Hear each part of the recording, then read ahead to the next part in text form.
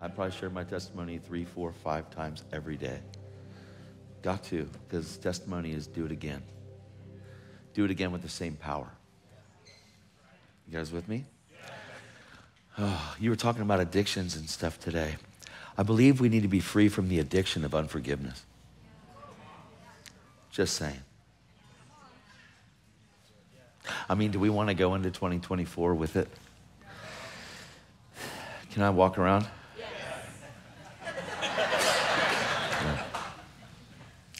I just, like, I, and I'm 54, Christmas Day, and I am just getting started. But I'm almost 20 years in, and I am so madly in love with Jesus. And nobody, people can assume what they think because of what they've thought and from what they've heard and from what they've presumed. But the truth of the matter is that you're the only one that's responsible for your relationship with Jesus.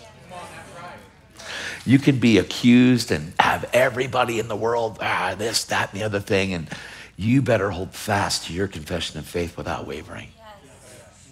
Your confession of faith, not just faith to be up here, not just faith to preach, not just faith to, faith to post dumb stuff on Facebook and Instagram and you guys with me? I said, okay, we'll see. I'm going to travel a little bit with you today. I am so excited to be here. I, I really am. I love William Costi. I love the family. I, I'm overwhelmed with what God wants to do. And what God wants to do is He wants us to stop all the little stuff and He wants us to go to the big stuff to the big matters, like the big matters, like you loving the Lord Jesus and laying your gift at the altar after you've settled your junk. You guys all right? Okay? Because I'm five days into a fast and I'm just going to be raw with you today. I am because I'm not eating, so the only thing I've got is the word. I've been feasting and I am overwhelmed with the fact that God's treasure is the fear of the Lord. It's his treasure. It's in Isaiah, it's in Isaiah 33, 6. It says his treasure is the fear.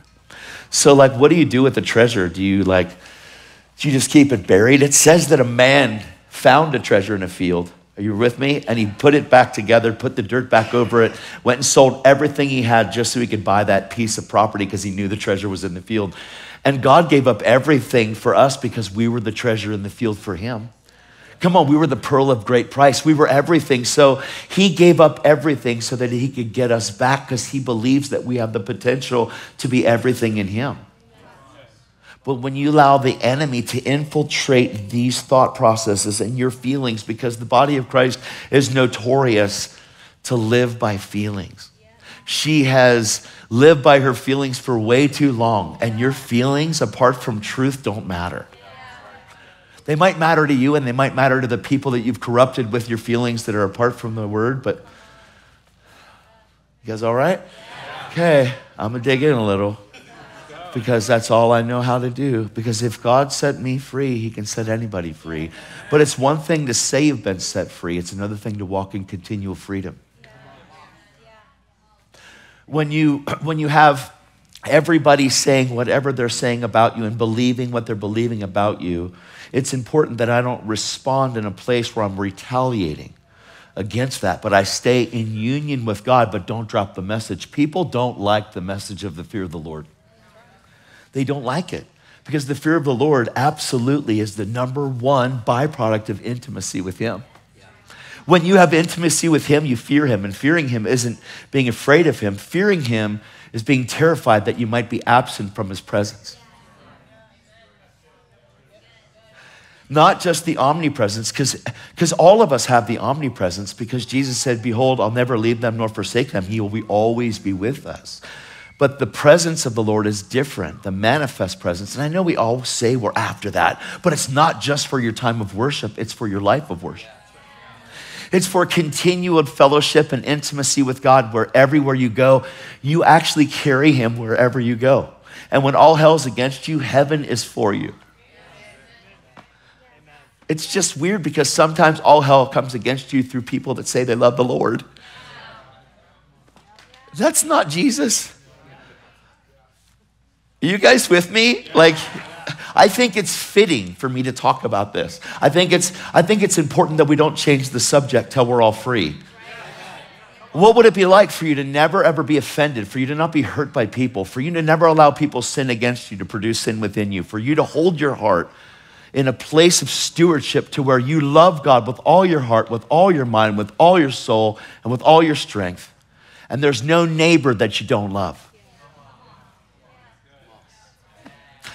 Guys, who's my neighbor? Everyone I see. The people that hate me the most are my neighbor. What am I to do? Should I avoid things, sweep things under the carpet? Should I just go to places where I'm liked and loved? Should I just go hang out where everybody loves me and everybody likes me and, and man, you're the best? No, that's not the key. The key is going wherever you are with Him. The key is carrying the presence of the Lord everywhere you go and actually having good tidings of great joy. Actually, knowing that Jesus said, I have overcome, or in this world you will have nothing but fullness of joy. It's not what he said. Jesus didn't say, Wow, guys, be of good cheer. I run with the world. Jesus didn't say that. He didn't say, guys, have the fullness of joy at all times and be of good cheer, for I look just like the world. He didn't say that. He said, I overcame the world. In the Bible, in the book of Revelation, it says, to he who over, it doesn't say to he who's overcome. It says to he who overcomes. Well, how can I be an overcomer? How can I be more than a conqueror? How can I live in a place where all this stuff, I don't know if you've ever watched YouTube, probably have but like you can watch a good video and there's like 10 more that are really bad. About the heretic, about this, about the charlatan, about that. I can't afford to let that stuff affect me. Listen, if you're not hated for what you preach, you're probably going the same direction devils are. If you're not hated for your life, you're probably like, you're probably not preaching the original gospel. You're probably not. If I need you to like me, it's because I don't know I'm loved. If I need you to like me, I'm probably going to tell the things that, that are going to just build you up in a way, but never talk about the things that are going to actually shape you, form you, mold you, so that God can have access to the things that need to be cut away. Do you know that God still is like this amazing pruner? Come on, man. I mean, this is painful. This is real. Like, all hell is on this earth through the enemy, but he tries to infiltrate the body of Christ and get into the minds, the mindset of the body of Christ to try to, to try to get them to presume to all kinds of weird stuff. And then what happens is we pull back from one another, and that's not love.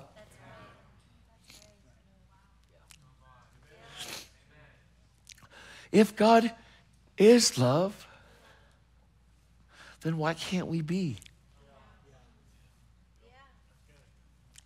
If God so loved the world that he gave, then why can't we give? None of this. Ministry, ministry is not to be held tightly. God is to be held tightly. And everything else with a loose grip.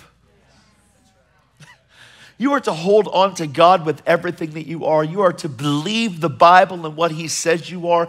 You have to look into this word to find out who you truly are. And once you see that, you can't let the enemy take that. We grow up with the way that seems right to a man, and we grow that way and we live that way, and our performance comes out of pleasing the way that seems right to people. And I can't afford to live and grow in a place that the way that seems right to a man. I can't even grow in the way that seems right to a brother. I have to grow in the way that is right to God. If it's not in here and God's not saying it, why would you want to go after it? Come on, guys, we live in a culture that's really crazy. It's called let's sacrifice truth on the altar of being culturally relevant. Let's go where we feel good. Come on, man. Let's go where we feel good. Well, that person makes me upset. I'm just going to cut them off. I'm not going to talk to them anymore. I feel good again. That's not the gospel. Do you think that you're not going to answer for that when you stand before Him? I'd rather answer now. See, because if I answer now when I stand before Him, there's no junk in my closet. And is the life that you're living worth the price that He paid? Are you going after him? Are we going after him for just a stage? Are we going after him so that people can hear our music? Are we going after him so people can hear our preach? Are we going after him so people like our posts? Are we going after him because we love him with all of our heart, our soul, our mind, and our strength? And we love our neighbor as ourself. And the reason why we can't love our neighbor is because we don't know who we are, because we build up this facade to make people think that we are somebody that we're not. the original gospel, the one that sets you free from you so you can be free from others, the one that allows you to be so secure in here that when all hell breaks out, you're actually quick to listen, slow to speak, and slow to anger because the anger of man doesn't promote the righteousness of God. And all of a sudden, behind the secret place, when everybody's not looking and they can assume, presume what they want, you're praying for those people that hurt you because you love them. And you're not offended. How do I keep my heart from offense? By lifting up prayer and blessing for everybody that's come against you. Do you think that Jesus' vehement cries were just for his 12 disciples? It says that Jesus lifted up vehement cries to the Father. Do you think it was just for the disciples, just for Peter, just for those guys? Or do you think it was also for the Pharisees that hated him? Do you think it wasn't for everybody that despised him? And Jesus Christ didn't do what he did just as God. He was fully man and fully God. But when he was here, he had to become man in order to fulfill the covenant that we had. He was fully God. He never stopped being God. It's, this is the weirdest thing. This is the one that brings the biggest persecution. If you're going to talk about the incarnation of Christ, you're going to get persecuted big time because most of the church is taught that Jesus is only God and he had nothing to do with humanity. But when you look at Philippians 2 and you see what Jesus truly did, Jesus humbled himself, became a bondservant, was tempted at all points, yet without sin. And you can't be tempted if you're doing it as God because God cannot be tempted. If Jesus did what he did as God, then why did God need to anoint Jesus of Nazareth? God anointed Jesus of Nazareth with the Holy Ghost and power who went about doing and healing all that were all. If anybody had the right to be offended and hurt, it would have been him. Think about this. If anybody had the right to be offended, wouldn't it have been Jesus? Wouldn't Jesus have been the biggest basket case the world has ever seen? He's come to his own and they knew him not. In him was the light of all men. In him was the light, and he came as the light to make us understand that he was representative of the Father, so that one day when he went to be with the Father, we were going to become that light. And if you think that Jesus, look, Jesus didn't have it easy. He had it really intense. I mean, think about that. He's with God, always with God, always was. He never ever was apart from him. And then for a season, he comes here, humbles himself as a bondservant. He becomes a little baby, goes into a mom's womb as a fetus, bakes in the oven for nine months, and then comes out, Wah! just like us. It's ridiculous. It's the biggest most amazing plan that the world has ever seen. And God's whole plan was redemption. And redemption doesn't just mean like I've been purchased, redemption means being brought back to the original value that I had before we ever ate the tree. Jesus is going to do something that's absolutely so incredible the world has never seen it. The devil couldn't see it. He didn't know it. Because if the powers and principalities would have known what they were doing, they would have never crucified Jesus, but they did. But did they crucify Jesus just to get you to heaven? Or did they crucify Jesus so that you could be forgiven and your sin could be removed? Listen, this is huge. Jesus is king, he's Lord of all. But Lord means master. And if you're in unforgiveness and you're offended, He's not your master, you are. It's not acceptable, it's not allowed. I don't care what your reasons are. None of them are gonna fly. Jesus said that if I don't forgive, my Father will not forgive me. People go, well, I'm already forgiven. Wrong. It's contingent on your forgiveness. People are like, that's not true. That's not the Bible. No, you don't read it. If you think you have the right to be hurt and offended and depressed and angry and bitter and everybody else, everybody else is wrong and you're right, you're not. You're in sin, you're, you're living a lie.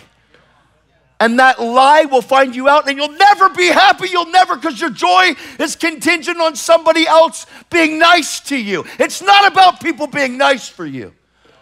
It's about Jesus who came to die for you. When you were yet a sinner, Christ died for you to deliver you from that sin, to deliver you from your anger, from your bitterness, from your unforgiveness, from your depression.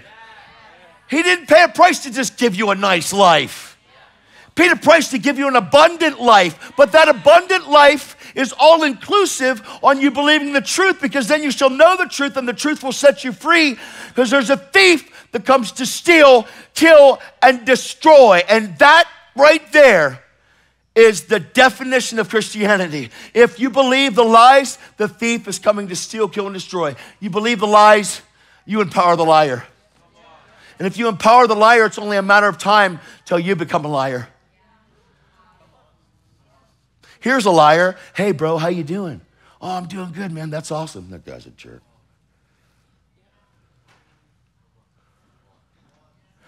Oh, praise God. Praise God and worship. We love God. Oh, Jesus, you're so amazing. Did you see that guy today, man? He's, jeez. Yeah, I don't know what his deal is. You're a liar. This is no joke. This is for real. You think that we have time to play these games? Do you think that we have time to play these games and to harbor that stuff for a second? Do you think that we're not closer to his return than ever before? Do you see America? Do you see what it looks like? Do you see what the body of Christ looks like with its little rifts and its little this and it's little that, and my clique and your clique and their clique and their ministry and my church and your church and we got our church and you got yours. That's sin and twistedness and it's a lack of unity. It's dysfunctional. And Jesus didn't pay a price for a dysfunctional church, He paid a price for a bride that would make herself ready. Do we have a reason to be offended? No, you don't unless you're taking stuff personal. And the truth is, is when you find out what God says about you, you will know what God thinks about others. People are like, man, Todd White, you're an evangelist, dude. You, you always witness, like you always share your faith. Why are you so bold? Here's why I don't hold any unforgiveness, I don't hold any bitterness. I don't hold any judgment against people. I don't hold any hurt because of what people have said, because of what people have done. I believe the truth. I believe that Jesus Christ paid a price for me to be free from you because I'm free from me. You are not responsible for my walk. I am, and I will not jeopardize my walk with Jesus because one day I'm going to stand like you're going to stand before the judgment seat of Christ. You think you're going to avoid it, but you're not. I promise you, it is awesome to live with a clean conscience, with clean hands, and a pure heart. It is very demonic to lift your hands in praise, but live with impurity inside of you.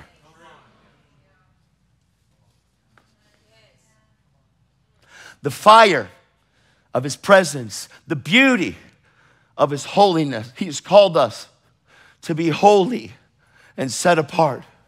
He's called us by his name to represent his name. And representing his name means to represent Jesus to a lost and dying world. And the church is losing and dying, and she needs to be triumphant and walking in total victory.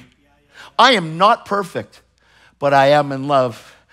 And when I'm convicted, I'm obedient. I will not deny obedience for a second because delayed obedience is disobedience. And you cannot live and walk with Jesus and say you love God and have that other junk inside of your life. Do you know that, like, the Holy Spirit, God, the whole, he's not a mist, he's not a vapor, and I know we know that. You know, he told Peter, because he said to the guys, he goes, I'm going to go, I'm going to be crucified. And Peter messed it up and said, This will never happen to you. And Jesus said, Get behind me, Satan, for your mind is full of the things of man and not the things of God. In other words, you're thinking like a mere man, and thinking like a mere man is demonic. Let me tell you how much truth is in that statement. How many times has somebody done something that you cannot believe that was possible? You couldn't believe it, and then they stayed in it, and they didn't repent, and they stayed in that place. And you're sitting there going, What is happening? I cannot believe it. Just because they're deceived doesn't mean you have to live there. Just because someone's deceived, because they're broken, they're hurting, usually it comes because the wisdom of the world and the wisdom of God. There are two different kinds of wisdom. You got the wisdom of man, which is sensual and demonic. It's in James. It's full of self seeking and envy, and everything evil is there. It doesn't say some evil things are there. I need you to get this really, really important. It's so important. We've got to come to the truth and reality that our war is not against flesh and blood backbone of this whole message is that our war is not against flesh and blood, it is against principalities, powers, spiritual hosts of wickedness in heavenly places. Our war is never against people, what they've said, what they've done, how they've said they're sorry. If they didn't say they're sorry, if they repented, if they didn't repent, your repentance isn't dependent on someone else's. And if you are waiting for them to say you're sorry to you, it's not the Lord, it's your personal emotional brokenness. If I need somebody to save face and say, listen, I really messed up, man, I, I just, yeah, that's what Jesus needed from you. That's what he needed from you. I mean, he, you know, he died knowing that if I do this, I know they're going to say sorry.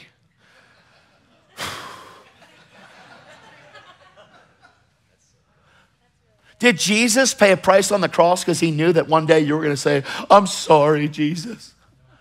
Do you think that's what love does? No, because love keeps no record of wrongs. This is a pretty big deal. I mean, how many times? I mean, I'm, I'm looking around the room. All of you have been through this. Lots of you have been through this with me. You've been through this with William and me in our stuff that we went through. None of you know the, the real story, but I love this man with all my heart, with all my soul, all my strength. I do. I love Costi. I love David Wally. He was my first intern. David Wally. I just want to say some things. David Wally is one of the most pure people I've ever met in my life, ever. But David Wally, one time, one time, I'm just going to share. David Wally, he's like a, a spider monkey. No, no, no. If you've ever seen him climb, you've never seen him. Like, I don't know. He's like one of those guys you see on the cliff, like holding on with one hand.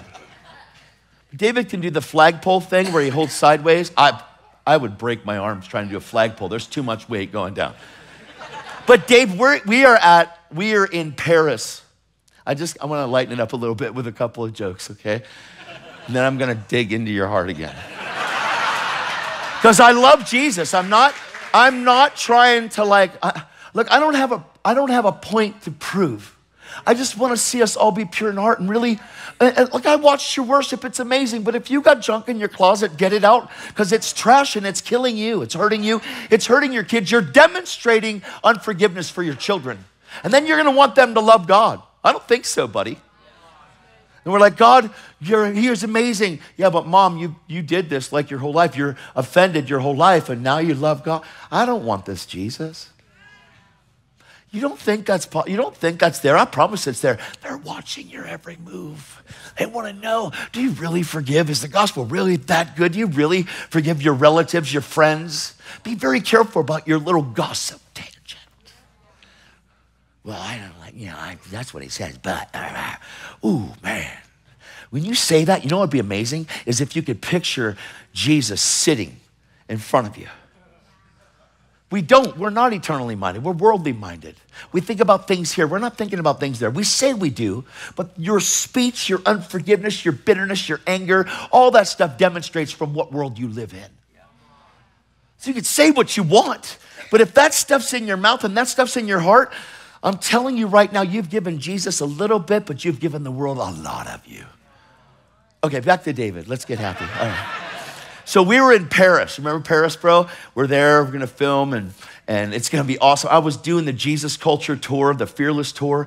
David's there, and there's this stage, and, and you're, you gotta come down on a slant from the auditorium. You gotta, it's like a, a movie theater. Actually, it was more than a movie theater. It was the, it was the oldest cabaret, which is a strip club, nightclub in Paris, France. And so we're going to do the first Jesus event that's ever been done in the building. There are snipers on the roof. There is all kinds of crazy, ridiculous threats that are happening. And David and I walk in. Robert's with me, Gervais, he's filming. And David sees that stage and he goes, I could jump that. I go, bro, don't do it. I said, I'm telling you right now, man, it's not gonna be good here.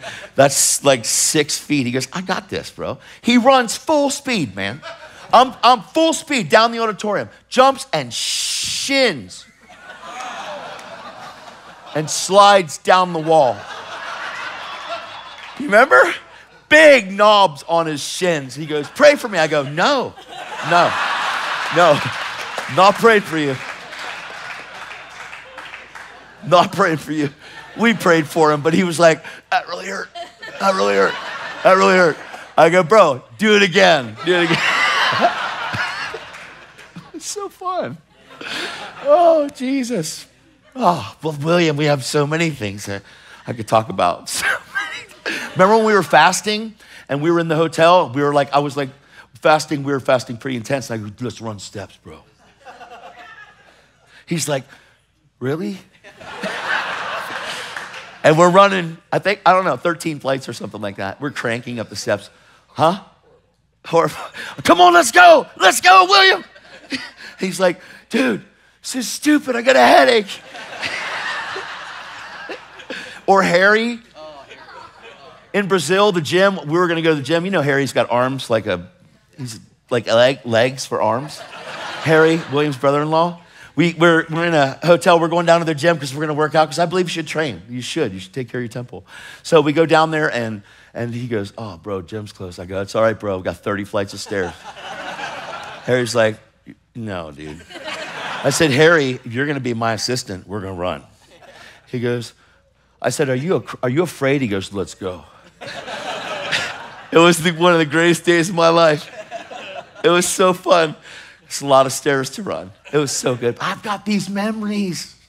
I've got these great memories. I've had other good memories with David. Remember the time when you took a $10,000 camera?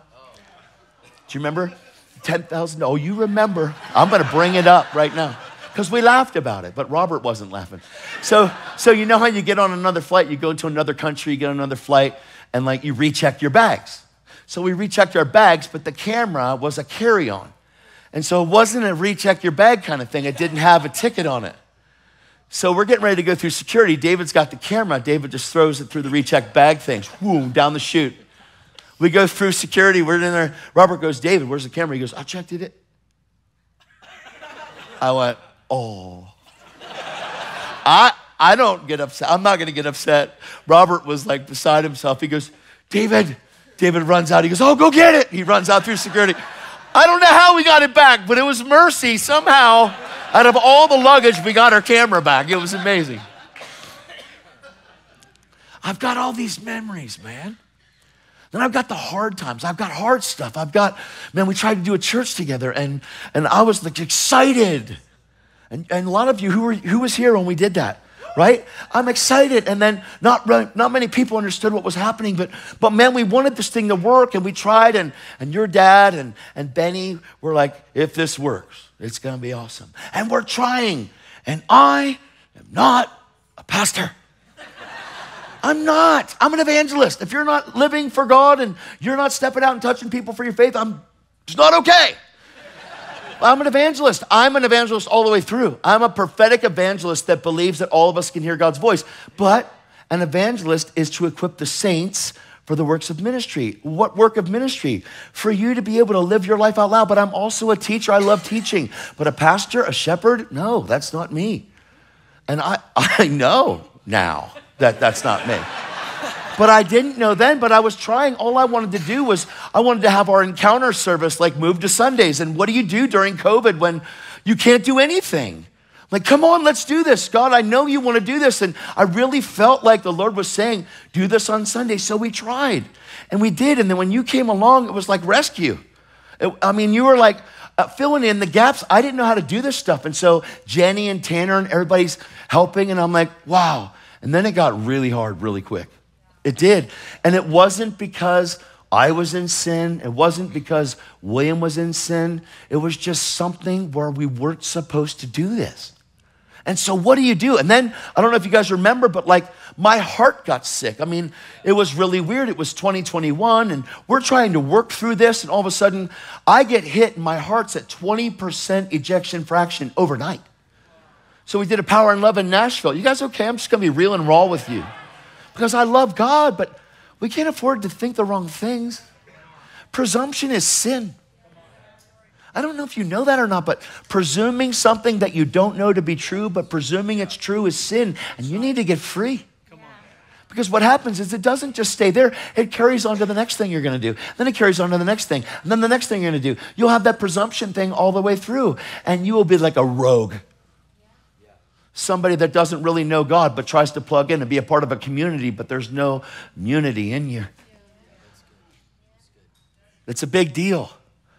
Big deal. So I, I come home from Nashville from a power and love, and it was an amazing time. I'm talking like amazing time. I come home, I can hardly breathe, and my son in law says, Hey, you need to go to the hospital. I'm like, Dude, I, I don't know what this is. I think I'm just like, my lungs just feel congested. He goes, You need to go. You can hardly breathe. So I went to the hospital. I go to the doctors, and the doctor, like, didn't say anything until the next day. I was a pin cushion overnight, but the next morning, my wife comes in at 9 a.m. She's coming in to, to hang with me. The doctor, the heart doctor, comes in at the same time. And the heart doctor says, Mr. White, we've figured out what's wrong with you. It's your heart, and you could die any moment. That's what he says to my wife. I'm like, that's not okay, pal. Like, this is my wife. He goes, well, it's the truth. I said, no, let me tell you the truth. And it was intense. It was an intense time. And it wasn't okay. And like, she's going, this is my wife. Like, the one that I give my testimony about every day of my life, four or five times a day. This is the love of my life. This is one flesh, been together 28 years, married 19 now. This is her. And she is faced with, with logical facts that her husband might die. So, what do you do with that? How do you process that as the wife of somebody that's gotten hit with sickness, that's heart is now like out of nowhere? I eat healthy. I, I mean, I don't eat junk. I'm not a junk food guy. I'm a, I'm a keto guy. If I put my mind to something, I'm going to go after it. And sure enough, man, the doctor's like, you know, your heart's at 20% ejection fraction. You could die at any moment. I said, what is that even ejection fraction? He goes, that is the pumping capacity of your heart. The reason why you've gained like 30 pounds in water weight is that your pump, your pump's not working. Your heart's like a sump pump. It gets water out, fluid. I go, what do I do? He goes, well, we're going to put you on 14 medicines. Never taken medication in my life, only vitamins and stuff like that. But now I'm going to be on 14 medicines amiodarone, uh, blood pressure medication, blood thinner medication, you name it. I'm on it now. And it's not good. And I had to go home from this hospital like five days later. I'm in for over, was it Christmas? Thanksgiving? Yeah. Thanksgiving. I come, I come home and now I'm like bedridden. And we were already having struggles and trying to get things together. And now I'm out of the equation, and William's doing an amazing job. But I'm, I can't even help. And I went home, and people are praying for me. But man, you, I want you to think about this. You know, you, with me, as far as like the ministry goes, I believe this is God. We're supposed to come together. We would have never said, let's become one, let's do this together, unless I believed it was from God. I didn't know how hard it was going to be, I didn't know what was involved in that. Are you with me? It was hard. And I'm like, we're going to make this work because we committed to this. And, you know, I, for me, it's a covenant thing. I don't want to break that thing. And so we're going after it. William's praying for me. I'm hurting. and I'm on all this medication that's putting me in la la land. At the same time, two weeks into this heart thing, my wife gets hit with this severe pain in her abdominal area. So we go to the hospital. Here she's got multiple tumors in her uterus. Out of nowhere, never had pain before, just like that. Is this like coincidence? Is it coincidence? Is it just a coincidence that like my heart is like almost dead, the doctor said. Is it a coincidence that my wife has multiple tumors and needs an emergency hysterectomy? Is it coincidence? Or is there a demonic realm that is pressing in from the outside, trying to get in here? This is no joke. Guys, if you realize this, principalities are constantly on you, aggressively towards you, and trying to twist and contort the way that you think on a continual basis because they know that if they can twist this, they can get you to fake worship here and think like hell here. It doesn't stop until you see their game. When you see their game, when you know what they're doing, when you understand the real war, that your war is not against flesh and blood, that your war is not against the person that's saying something wrong, your, the war is not against a best friend that was your best friend forever and turned their back on you just for selfish reason. Wisdom of the world, sensual, demonic, full of envy. Listen to this full of envy and self seeking. I need you to picture this. It's sensual, it's demonic, it's led by feelings, it's feeling oriented. How do I feel? How do you make me feel? It's sensual and demonic. What does demonic mean? It is ruled by the demonic realm. Satan is still the principality of the air. He is still the God of this world. We don't see him, but we need to know his scandals, his craftiness Watch this Satan prowls around like a roaring lion with no teeth, looking for whom he can devour. And all you need to do is stray in your soul a little bit, start to believe the way that seems right to a man, and you've allowed the root of everything evil to twist you. Money, the love of money is the root of all evil, but the wisdom of man is the root of all evil. I want you to hear this. This is so big. Listen to this over and over and over and over and over again. There was a movie that was out a little while ago. It was called Nefarious. You can get it on Amazon Prime. Did you guys, did anybody see it? Let me just explain something to you about this movie. I went, I made my daughters go. My wife was like, We're not going. It's a rated R movie. I'm like, We're going. Because I knew who made it. There were two priests that made this movie. And it's a movie about the demonic realm and the God realm. But it's a movie about this guy that's in prison.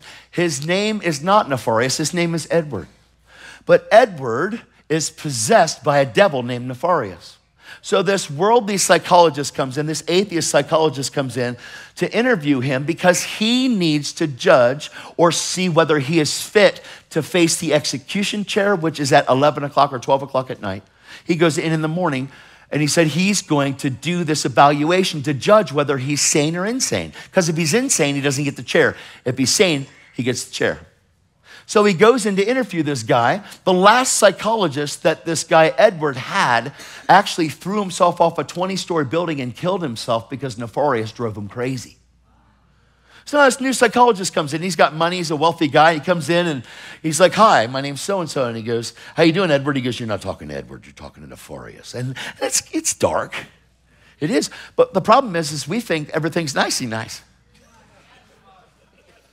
We think everything's woo, everything's good. Well, chill. Woo, that hurt a little. I don't know what that was. It was a devil.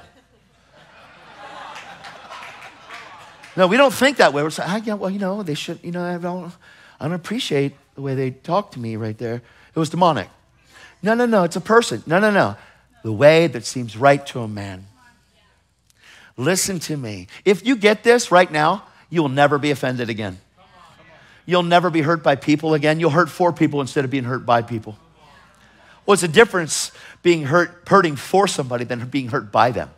If you're hurt by them, they're your Lord and your leader and your master, and Jesus isn't. If you're hurt for them, Jesus has become Lord and master of your soul. This is not incorporate Jesus time, guys. This is full on surrender. I'm going to believe what this Bible says. I believe that my war is not against flesh and blood. Another scripture. Therefore, we now, therefore, regard nobody according to the flesh. It's in 2 Corinthians chapter 5. What does that mean? It means I don't have the right to see Costi for whatever Costi says, whatever Costi does apart from the gospel. I only have the right to see him for his creative value and the plans that God has for him. I can't afford to see him anything less because if I do, I'm, I'm looking at him according to the flesh. So this guy, Nefarious, is going through this conversation with this psychologist. Psychologist and atheist. He doesn't believe. because I don't believe in demons. And uh, this guy is like, Nefarious is like talking to him, but it's really cool because he is giving him the lowdown on the demonic realm and the plans of the enemy. He calls the enemy the master. He calls God the enemy, and he calls Jesus that carpenter. It was funny, this priest, because Catholic priest comes in. He's like this guy, and he goes, Have you come to torment me? This demon says. He goes, I don't believe in that. He goes, Oh, you're an imposter. I'm like, Oh my God, dude. Are you kidding me? Like, if he knew who God was, he'd cast that thing out. And Edward, well, he committed a whole bunch of murders, so but the whole movie is about this war that I'm talking about right now that the body of Christ doesn't even believe. I mean, we say we believe it, yet you'd be offended. I don't think you believe anything. I'm not, listen, if the shoe fits, kick it off because it's not supposed to be your shoe. Your shoe is supposed to be the gospel of peace, shod with peace. People are like, well, what, what? Like, this is all weird to me. I know. But when you get born again, you get born into this world. This, this new world, this world of the kingdom, where the kingdom of God. Come on, guys. It's a completely different world. My war is not against people. In this, in this movie, it's crazy. You should see it. Just so you could see, you should see the reality. It was funny because we get to the end of the movie, and I'm not going to tell you the end. You want to see it. It's really, really good. And then we get to the end, and we walk out, and this girl comes out. She goes, That was the most stupid thing I ever saw, like God and Jesus and, and, and all that stuff. And she's telling me. And I go, Oh. I said, Wow. I said, That's awesome. I said, So you don't believe any of this? She goes, No, it's so stupid. I came here to see a horror movie. I said, Well, you know what is really crazy is the truth is horror. She goes, What do you mean, truth? I said, Oh, and I shared my testimony, and she's like this. She's backing up. I go, What's wrong with you? And I'm walking towards her. She goes, I don't know. This is so weird. I go, No, no, no. I said, You have people in your life that are just like how I used to be. I said, But Jesus set me free, see? And I said, I had demon stuff in my life, but God went and took them all away. I was worse than that guy you saw, although I didn't commit the same crime, the heinous lifestyle of twistedness and arrogance and pornography and drugs and alcohol and all the stuff that goes with it, all the hatred, all the anger, all that stuff that you want to be free from. She's looking at me. I, I said, You know what? I said, That movie's true. She goes, I'm out of here. She ran. I couldn't, couldn't talk to her. She ran into the right guy, though. She could have ran into someone else. Yeah, stupid, right? So I'm, I'm really sick in this place, really sick in the hosp- uh, you know, at home, but on 14 meds. I'm bedridden. My brain is so foggy. I felt high again. And I, I hate the feeling of anything taking over this because I want to be clear and concise, sharp. I want to be sharp and aware because there are so many lies. And God gives you sharpness so that you can be aware and have a spirit of wisdom and revelation in the knowledge of Him, so that you can be aware of the tactics of the enemy at all times. He gives you sharpness and awareness, but He expects you actually to search this word. It's the glory of God to conceal things in the word, but it's the glory of kings to search it out. He's given us the ability to search and mine for gold. But we are so busy reading books about the Bible that we hardly ever get into the actual Bible itself. Because we believe that we can't hear. And the only reason you can't hear is because you're not diligent to go after Him. Because God says that He's a diligent rewarder of them that seek Him. Do you seek Him? Do you seek him for what he says about you? Do you seek him for what he has for you? Do you seek him for who he is as a father? Or do you seek other stuff trying to roundabout way? You're just going to become an echo and you'll never be a voice. Come on. It's not okay to not know him. It's one thing to have an encounter with him. It's another thing to host him. Because if you don't host him, you're hosting the devil. If you don't host God, you're hosting the demonic. And I'm not saying you're possessed.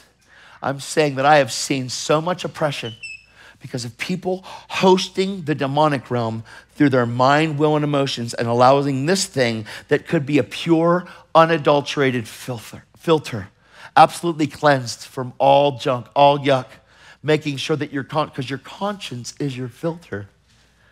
Your conscience, your mind, your will, your emotions, your soul, God has given us the ability to live and walk with a clean conscience, and anything that violates it must be forsook. Anything that violates your conscience must be forsook, or else you cannot live the pure life that God wants you to live. I cannot allow anything that is violating my conscience to remain. If I do, what happens is your conscience becomes seared and you will allow sin in your life, unforgiveness in your life, and you will have this form of godliness denying the power thereof. And you can come to church and you can sing well, you can move in a gift. And I'm not talking about anybody specifically, so please don't hear me that way. Gosh, the enemy is so crafty, man. You can sing an amazing song and worship and have other people cry, but you can, you can be singing that just so that people can hear you sing. You can be dancing for the Lord and, and, and, and want to glorify the Lord, but really you just want people to like your dance. You guys with me? This has nothing to do with pointing the finger at anybody. I'm just telling you that we should live every moment to live to please the Lord in everything that I do. Colossians 3:17 is one of my life scriptures. It says, "Whatever I do, whether in word or in deed, I'm going to do it as unto the Lord and not for people." Yes, I might be doing something for a person, but I stand before an audience of one and I want to love God with all my heart, with all my soul, with all my mind and my strength. And I want to love my neighbor as myself. And I want to live by those two commandments every second of every day. And when you start to let your conscience become defiled, you will stop loving your neighbor. And it is only to pinpoint you not really loving God. You all right? I know it's quiet. I know this painful stuff. It's good because if we rip this thing out, imagine if, do you remember when you first got saved? Remember when, remember when you first said yes to Jesus? Remember when you were like, oh my God, you're real? Do you remember that? Do you remember when you, when you were so excited that, oh my God, he's real? Do you remember that? The only way to maintain that is a clear conscience. If you let your conscience become defiled, you shipwreck your faith. But it's not just faith to go to heaven, it's faith to have intimacy with God. Well, if I don't keep my conscience clean, I can't have face to face communion with Him. If I don't keep this thing clean, I can't have a relationship with him. I can know about him and I can still preach and I can still teach and I got gifts. I can still pray for the sick. The sick could be, I can still got it. I still got words of knowledge. The gifts and callings of God are without repentance. I'm not required to repent to walk in a gift. The only way that I can actually bear fruit for God, see, gifts are given, but fruit is grown. fruit is grown. And you know what really helps you grow fruit? Being really squeezed like crazy from every direction, where you're like, what is happening right now? Oh, God, have your way in me. And not going, they, him, her, ha, ha. Because the more I do this, the less I see this. All that stuff. Man, God says He'll never allow you to go through something that you're not equipped to stand underneath of. That's what it says. Woo, I'm really emotional right now because I love him. All he wants is for us to really be as free as we sing we are. He just wants us to be free. He wants us to let all that stuff go because it's stuff. That stuff hurting Stuff can't afford to bring stuff in. The stuff hurts us. God's amazing. He's everything. Sometimes people are angry at God because they allowed, because God allowed this. What would you? I don't know yet, but you're sovereign. No, stop it. Stop saying that God allowed, that God allowed, that God allowed. Take that out of the equation. If it's the thief that comes to steal, kill, and destroy, understand that Satan doesn't need permission to attack you. That'll clear up a lot of stuff in your life right away. It will. Satan doesn't. We look at Job and we're like, yeah, well, God, I mean, Satan came before Job. I mean, he asked God, no, no, no. God pointed Satan out, pointed Job out to Satan. What'd you think about that? Satan didn't go, let me get Job. No, no, no. God started it. Do you understand that? That's the craziest story. I mean, it said Satan came to present himself with the sons uh, with, uh, in front of God. William, don't leave yet. we'll just wait. Sorry. I love him. But look, Job comes before God. And God says, I want you to, I want you to think with me right now. God says to, or, or God says to the enemy, now, do you, do you understand? First, before we even say this part, do you realize that God knows all things? Do you think God didn't understand? Do you think God didn't know? When God asks a question, it's not like he doesn't know. Are you with me? If God says, like, you look at Job, like Job 29 through 31, you look at all these hundred and some questions that God asked Job. Do you think God didn't know the answers? No, no, no. He's all knowing, he's all powerful, he's, he's, he's God. So he says to the devil, from where do you come? Why did he say that? Think with me. He said, From where do you come? What? Because he's reminding the devil of his big mess up. the devil says, From walking to and fro on the earth. Why? Because God put him here. Do you understand? God's not like, From where do you come? I haven't seen you in a long time and you've been hiding and I don't understand. I mean, Satan, please fill me in here. Sometimes we're not looking at this. I'm looking at this. I'm like, whoa, like he's reminding Lucifer, he's reminding the devil of his big mess up in heaven where Satan tried to elevate himself above God and he got cast down here to earth. And then when he was here, God put man on the earth after the devil was here. This is so good. Listen, this is amazing. Guys, like the earth was without form and void. Are you with me? And then God, boom. The devil was already kicked out. Him and a third that followed him were here. They were already here. So God put Adam and Eve on the earth. Why? To have dominion, to be fruitful and to multiply and to subdue the earth because outside of that garden was mayhem and twistedness. So God created one in his image because he wanted the devil destroyed by one in his image. Come on. And then all of a sudden, like, they didn't do well. They obeyed the voice of another, and the keys to dominion and authority were handed to the enemy. The serpent deceiving. Are you with me? Follow me here. And then you see, now, when you fast forward to Jesus in Luke 4, Luke 4, Jesus is tempted. He's out in the wilderness being tempted. We're going to go back to Job in a second, but I just want you to understand that this is what God has desired from the beginning. God has desired that people in his image would thump the enemy and not be threatened by the enemy in any way, shape, or form and never turn around and curse God. Are you with me? So Jesus in Luke 4 is, is tempted by the enemy. The first temptation is if you really are the Son, then changed these stones into bread. Man does not live by bread alone, but by every word that comes from God. Why? Because it's written in Scripture in Deuteronomy. And also, when God said to Jesus, You are my beloved Son, in whom I'm well pleased, Jesus just heard the Father say that. Why? Because righteousness was attained, and Jesus heard the Father say, You're my son.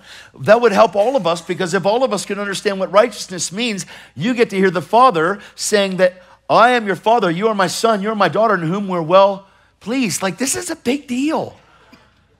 So Jesus is then taped take up to, took up to a high place, and, he's, and the devil shows him all these kingdoms of the world.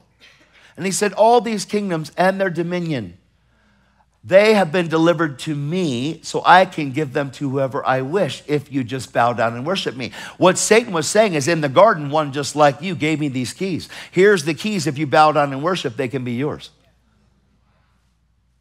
Jesus didn't come to bow except to God, and he came to die so that we might live, so that all of us could have dominion over the enemy. Okay.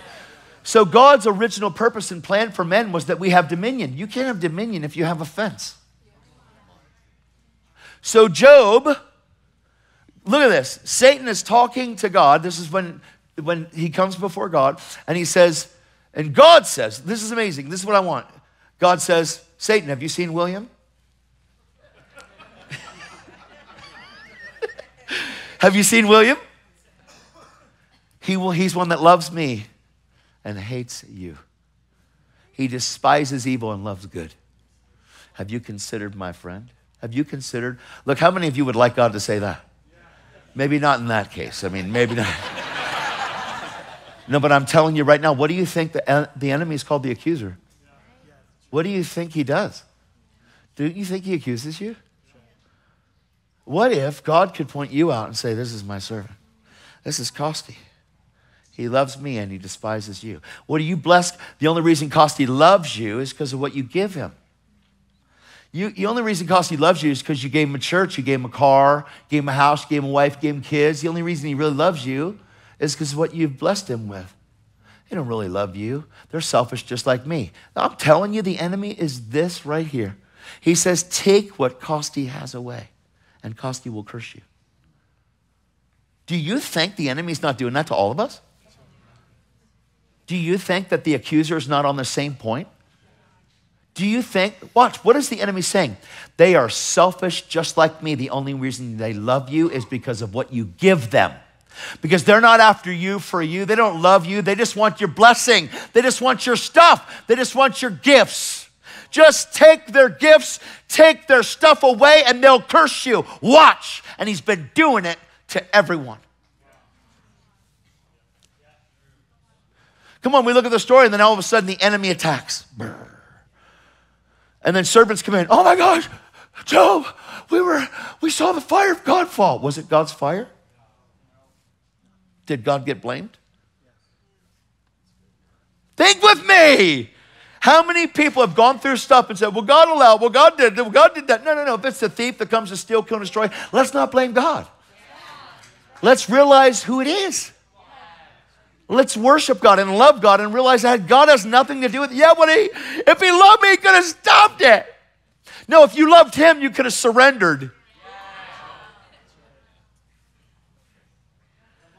This is no joke.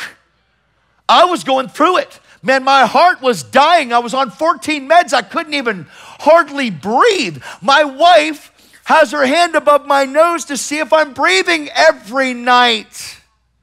My kids were coming to me, Dad, I'm so sorry. It's not your fault, baby. Let's just pray. And then I'm trying to read my Bible, and because of the drugs, I'd fall asleep very quickly. I could hardly read. I could hardly, no length of time, just out. So for three, two months, I am incapacitated in my prayer chair, sleeping for 18 hours a day in my bed and in my chair, useful for nothing. And thank God William was taking care of stuff because I could have never done it. Thank God and I'm like, I'm behind the scenes, can't do anything. The enemy was coming at me in a million different ways, a million different ways. The only thing that I had, the only thing I had in that season was my memory of the truth that I'd already put in my heart. I didn't have fresh revelation because I couldn't read. I'd fall asleep every time I read. I try to listen to the audio Bible, and in four or five minutes, I'm out cold. And the Bible's still playing, so maybe my brain's hearing it, but my I'm just in la la land. Felt like I was high. And now I got my wife that's sick. Now she's in bed. Then we go back to the doctors and they said, Well, you had cancer in one of your tumors. So now we have to go to a cancer doctor. All at the same time. Woo, woo, woo, woo. And it looks like everything is falling. What do I do? What do I do? How do I how do I recover from this? What do I do? See, no one knows that stuff. God does. I didn't curse William. I didn't curse people. I didn't, my closet, I can't believe, I can't believe, oh my God. And all these people are saying, and look, and know, and then people are, oh my gosh, they have these people on YouTube, healer, heal yourself. Todd White heart condition, all that stuff. And they're like, oh, if he could heal, then why wouldn't it? All of it. One thing after another. It's just horrible stuff, really. And 60 days in, I'm like, I go back to the doctor and he says, You know, your heart has only recovered to 32% from 20, and you need to get a defibrillator put in your chest. And the only option is for you to get a defibrillator because if you don't get this put in, you're going to die. You cannot live this way. I mean, they wanted me to wear a life vest, one of those defibrillator vests where it's like, it was so expensive. And we have a program that's, it's not a, it's not like medic, it's not like a medical program. It's called Samaritan where you, where you, it's a Christian co-share. But they weren't covering, and I'm like, I'm not doing this. I'm not going to wear the vest. So that's what scared her for the first 30 days, I wasn't wearing a vest. I wasn't going to put a vest on, and if my heart goes out, it shocks me. Burn. Like, I just, no, I'm not doing it. Like, just not. Like, I have to have some kind of faith here. You know, taking meds, I'm like, I don't, I hate medication. So I'm like, I, I love supplements and stuff that makes you healthy, but I'm not, I hate it. So I'm taking this, and I'm like, wow. You know, I told the doctor, I said, you know what, dude? I'm like, I'm done. He goes, what do you mean you're done? He goes, we're just beginning. I said, no, I'm done. Dude, I'm not taking your medicines anymore. I feel like I'm high again. I hate it. He goes, They're just relaxing your heart. They're just vitamins for the heart. I said, No, dude. Have you read amiodarone is the most toxic heart medication? You've had me on it for 60 days straight. The max people go on it is four weeks. I've been on it for eight. And it, the side effects are, are horrible. I'm like, it's like, I'm not doing it. I'm done. He's like, if you take these away, you will die. I said, You aren't allowed to tell me when I'm going to die. I said, Man, I said, Look, I appreciate you. You know, firemen come, and when there's a fire, they put out the fire, but they don't rebuild the house. And I said, I love that you put out the fire, but the Lord's going to build this house. And he's like, You and the Lord, like you and this Lord. I'm a Christian just like you. I said, No. I said, You go to church to please your wife. And I'm not mad. I wasn't being mean because he told me my wife and I go to church. My wife, she's been to church. I go to church with her. We're a certain denomination. I'm like, you know what? You don't go because you know God. Like, I freak you out. I'm praying for your nurses and you're frustrated. You're like, well, yeah, well, like, you know, you cause a ruckus. I'm like, no, I believe in God, the kingdom. I said, I want to pray with you. When I get healed, you will go with me to an event and watch this happen. And he said, he goes, yeah, if you ever got healed from this, I would go. I said, All right, because I'm coming off of all your medicines. All 14 of them, cold turkey. Tomorrow's my first day. No more medicine. And I'm going to do a 40 day water fast and I'm going to see what God has to say about this. And he's like, Mr. White, you will die. Did you tell your wife? I said, My wife absolutely loves God, dude. She's watching these medicines kill me. Like, you're killing me. He's like, We're helping you. I said, You've told me now I have to be on medicine, seven medications, six to seven medications for the rest of my life. That sounds like you wanting to be Lord in my life. That's not happening. He goes, I am a doctor. I said, I understand. You're a Christian in your heart, but you're an atheist in your mind, and I can't live that way. God wants every part of us spirit, soul, and body. Your soul is your mind, will, and emotions. If you would surrender and submit, if you would just give your heart to Jesus. I already did that. We're done here. You do what you need to do. I said, I'm gonna. I love you. Bless you. I always told him I love him. I would hug him every time. He's frustrated with me. I'm in a hospital with sick people. I'm gonna pray for people. So I left on this journey. And it was a really intense journey. And she, my wife was really concerned because I'm coming off of 14 meds, cold turkey. And I'm gonna do a 40 day water fast. Water fast. Water fast. And I did. I did a week, I lived. I did another week, I lived. It was week to week. Ask her. I did another week. I lived. But my mind was back immediately. In, in like four days, my mind was clarity again. And I saw what was happening, and I saw what was happening with the church, and I saw what William was doing. And it hurt because I wanted to be a part of everything. And I'm like, I know I'm not a pastor, and I know he's the man for this. He's the pastor. And I'm like processing with my wife. We're trying to figure out what are we to do? How are we to do this? I mean, it has been, since we got that building, it has been a real war. I don't know, like not a little war. I'm talking like, holy mackerel, dude. Kidding me. This is serious. But what do I do in all that? Do I keep my physical heart and keep my spiritual heart in a place of love? In a place of not being offended, in a place of not being hurt? Or do I let this thing get messed up spiritually but get healed physically? And then let this thing get jacked up spiritually so that all of a sudden, physically, my whole life is out of whack. It's a big deal. So three weeks went by, feeling pretty good, not dead yet. Watching, watching William, watching what he's doing, seeing what's happening talking through this stuff, trying to figure out what to do. And then again, another, and then again, another, and I'm still alive. I'm two months into this thing, like still alive, month and a half in this thing. Like I did a 40 day water fast, and I'm feeling really good. I'm like, I'm exercising again. I'm going to the gym, and which was scary for everybody, but I'm going and I'm, I'm working out. I'm, I'm going after, after God, loving Jesus in my prayer closet, loving God.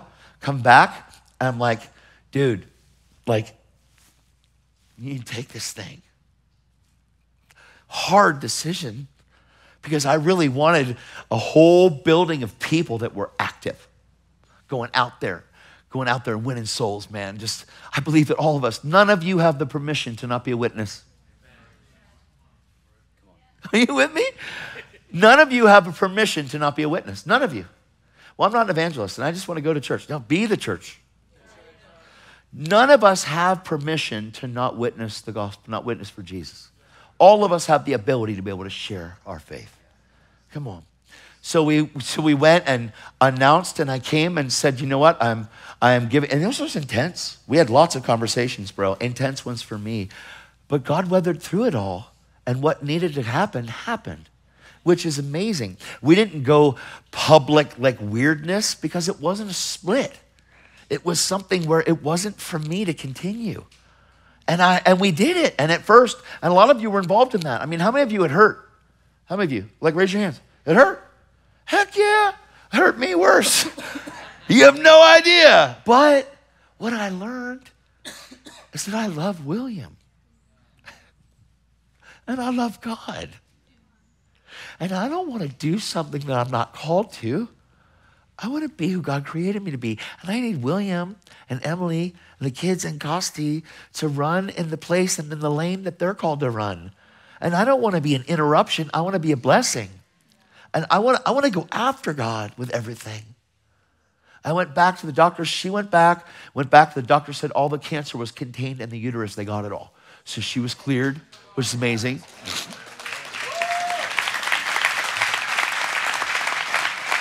And I went back to the doctor and I was completely cleared with my heart at 72%. 65 is what it's normal.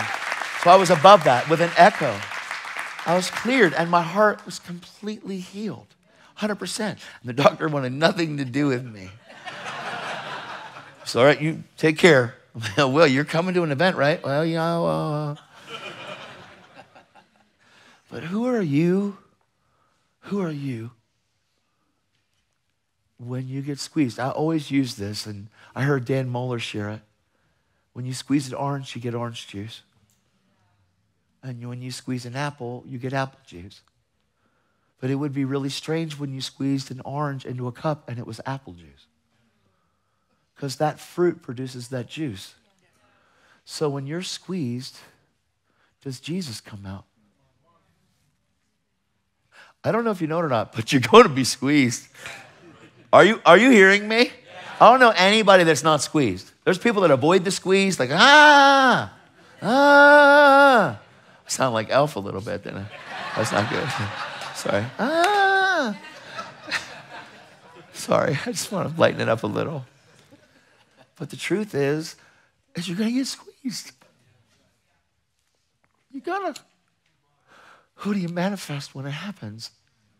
And you know, when you get faced with what I got faced with, and you can't read, and you can hardly listen, without having the truth of who God's created me to be tucked in here, I would have had nothing to work with.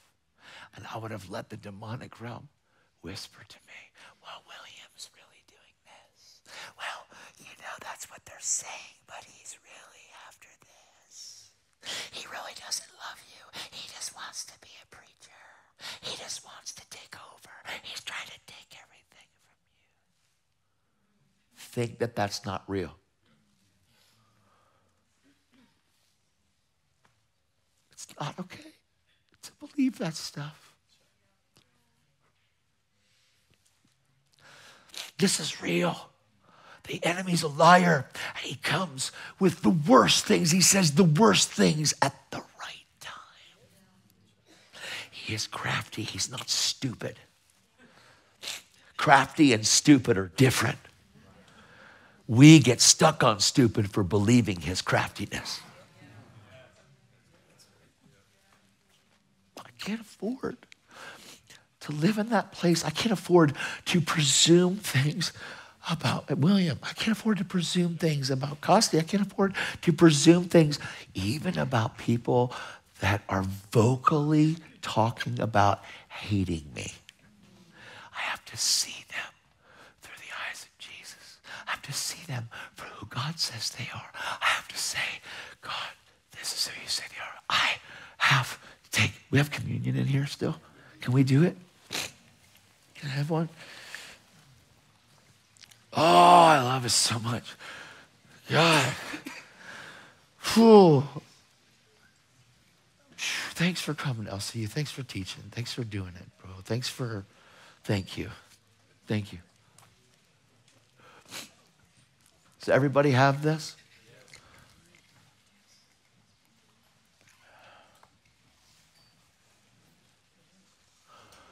Oh, man, I love Jesus, buddy. This Christian life is hard.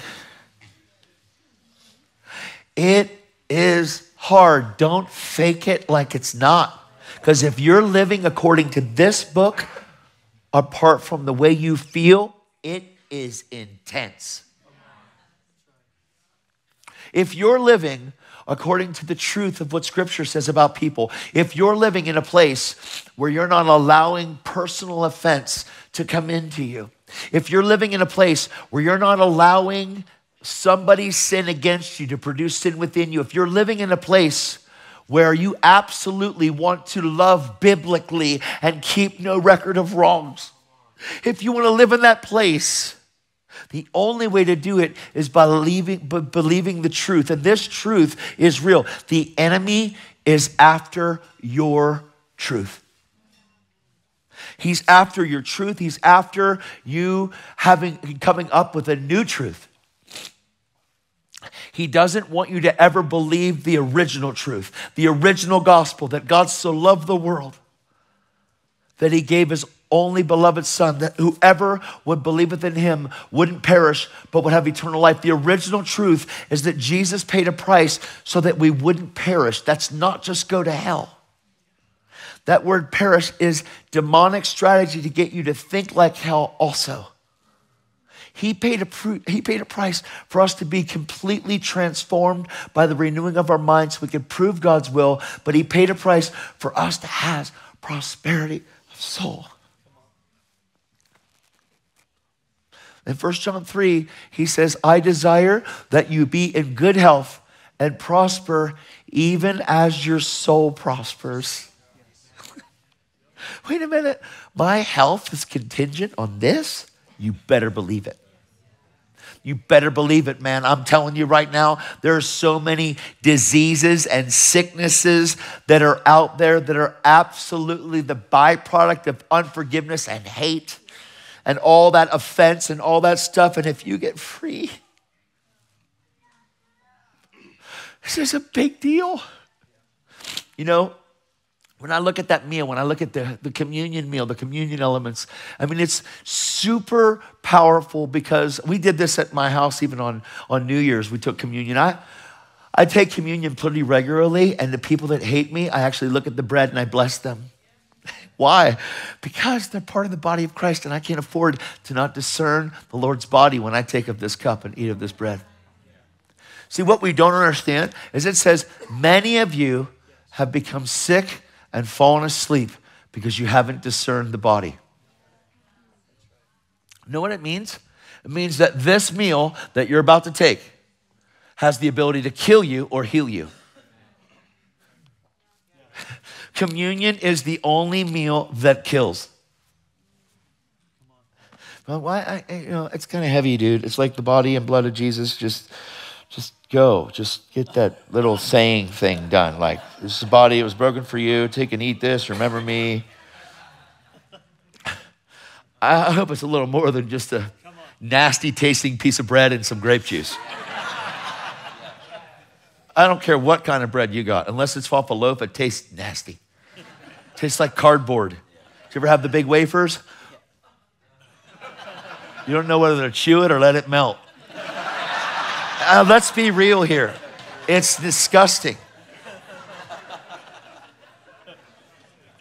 It's real. But it's not what it looks like or what it tastes like, it's what it's done. And he says, every time you partake of this, remember. Well, if he wants us to remember every time we partake of this, we better do it often. And not just corporately, but privately. But don't do this unless you really in your heart are free from the stuff we've been talking about because this stuff right here is not okay because you're taking this haphazardly and that's what kills. People say, well, you know, I'm working on it. No, you're in unforgiveness. I, I need you to hear that. Some people are like, well, you know, it's, it's, it's a process. No, it's not. Either do it or live in sin. It's not that easy. No, you're making it really complicated. Jesus made it really easy. He took a seriously hard road for you to enter into the simplicity of the gospel. And if you enter into simplicity and you stay there, you'll never complicate this. I mean, how many of you would like to go back to the very first day that you met Jesus? Do you remember the joy that you had? Do you remember what happened when you, oh, it's a whole new, you were like so excited. You're like, oh my God, I remember. It's never left me. That's my problem. When you look at the book of Revelation, you got this, you got, he's talking about the church in Ephesus, and this is like no other church on the planet, man. Like these guys were amazing. I mean, it's the, the very place they had the biggest witchcraft book burning bonfire. It was the biggest revival it's like $100,000 worth of witchcraft items being burned in the square. Like, and now it's in Turkey and it's not even, it's, it's just crazy, this reality. But man, he says this, what Jesus said, you've done this well, you've done this well, you've done this well, this is amazing, you've done this, this one thing, this one thing I have against you. I don't want one thing he has against me. I don't know about you, but like one thing is one too many things. Or you, would you agree? Uh, so don't think that, well, I'm, I'm under grace. This, none of this applies. If you knew what grace really meant, you'd understand that all of this applies. Because grace is not just undeserved favor, grace is the empowerment of heaven. Grace is the divine inspiration of God upon your heart with the outward reflection of God upon your life. Grace is the power tool of heaven. Grace is not just, well, I didn't deserve it, but He gave it. Praise God, I'm a sinner. No, you're not. You were saved from sin. Now you become a saint in the eyes of the Father. Don't think that grace is just because you're a miserable sinner and God barely tolerates you. Just because you were taught by a pastor that God loves you, he doesn't have to like you, doesn't mean that your pastor taught the truth because that's a lie. God doesn't love you and tolerate you. God loves you profusely and his eyes never look away from you. He never looks away. The problem is, is we allow life to come, unforgiveness to come, issues to come, grumbling to come, complaining to come, and your eyes look away from his. He doesn't go, maybe he'll return one day. He goes, come on now. Come on now. I waited. That's the Father. He doesn't look away. Doesn't, when you turn away, he doesn't go, ah, it's not your dad. He's not just some earthly dad. He's a heavenly father that always looks at you, that knows that if you just turn, if you just catch his gaze again, if you just turn from your sin, turn from your stuff, and just look at him, he's always. He never looks away. He's got time for every one of us. He never looks away. He's always looking at us. He's a good father. We get mixed up with all our stuff, our tragedies, our trash. We allow all kinds of stuff to come in to be the gospel, but none of it is. God loves you with an everlasting, burning heart of love. And He wants to carry us through this life, but He wants us to carry Him. And He doesn't want us to just have a fire, He wants you to be a bonfire. He wants you to burn and be the light of the world again. He doesn't want you to be caught up in all the offense and all the junk and all the he said, she said, wonder if, where are we going, what are we doing, can't believe it. Drop it. Drop it. It's stuff that is keeping you from having a prosperous soul. I want my soul to prosper. It's the biggest prosperity message in the gospel. And to be of good health. My body can be in physically good health. I want my soul to prosper. And a lot of your healing is contingent on this thing being completely free. I promise you. He said, This thing I have against you, you've left your first love. Return to your first love. Like, how do I even do that? I mean, God, I've been saved for 30 years and you're telling me to return to the same day. There's a lot that's happened. That's right. And over time, you've left, surrendered to God to, to entered into just not surrendered, just incorporated. And He's in there. And yes, I go to church, so I'm going through the motions. I went to this place and this place and this place. Nah, they didn't love me there. I went over there. They didn't love me there. Over there, they didn't love me there. And I'm just can't find a place they love me because you don't know you're loved. You can't just be a part. All that stuff is tragedy and trash, and it's no good for your soul. It messes you up inside. It causes you to have a lot to say about nothing. Causes you to have a lot of rumors to spread, a lot of things to say. Well, I ought to give them a piece of my mind. Well, is it coming from God's mind or yours? We need to get free. We need to be free. I need you to come back to the second that you knew He was real. I need you to know the love of God that's in Christ Jesus so that you can finally be filled with the fullness of God. To be filled with the fullness of God is to know the love of God that's in Christ Jesus. Wouldn't it be great if you woke up in love with Jesus this morning? Wouldn't it be great tonight when you went to bed? The only thing you could think about is how much you love the Lord and how important He is to you, and that He's actually there with you when you go to sleep. This is why I have peace every night I sleep. Come on, guys. Jesus said, Come to me.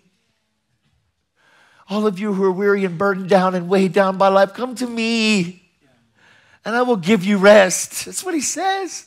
So in the beginning, we get born again, it happens. And this is no more shackles, no more chains right? And we're good. And then we walk out of church and go through our first day at work. I got shackles, I got chains. And I go to Sunday church. Bam, yeah, they're broken again. I am free. Come on. Let me go back to work. Oh my God, here they are again. I am, I am It's not the gospel. It's not the gospel. Jesus wants us to forgive. If I hurt any of you, I'm sorry. I'm sorry. I can't go back. I can only burn and go forward. I can only say I'm sorry. It's not on me for you to believe it, it's on you.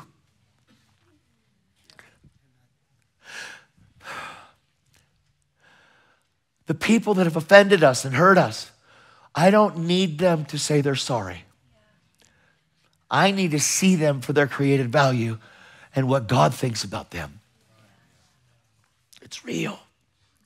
I can't afford to live in a place where it gets yucky. I can't for a moment. I can't afford to think, I can't afford to think less of William than what God does. And, and I ask the Holy Spirit in my heart always, with every leader, with everybody that I'm around, Lord, let me see them like you see them. And if my mind ever thinks otherwise, I ask you to bring that thought captive to truth so that I can immediately bless them. This is every day of my life. You think that by getting here, it gets easier. Oh, oh, oh. oh. Please don't just get into ministry because you think it's your niche. the Bible says, let not many of you be teachers. Why? Because teachers will be judged way more strictly. Are you with me? Can I read something to you real quick? This is the only place I can go to preach a forever service, so just hold on.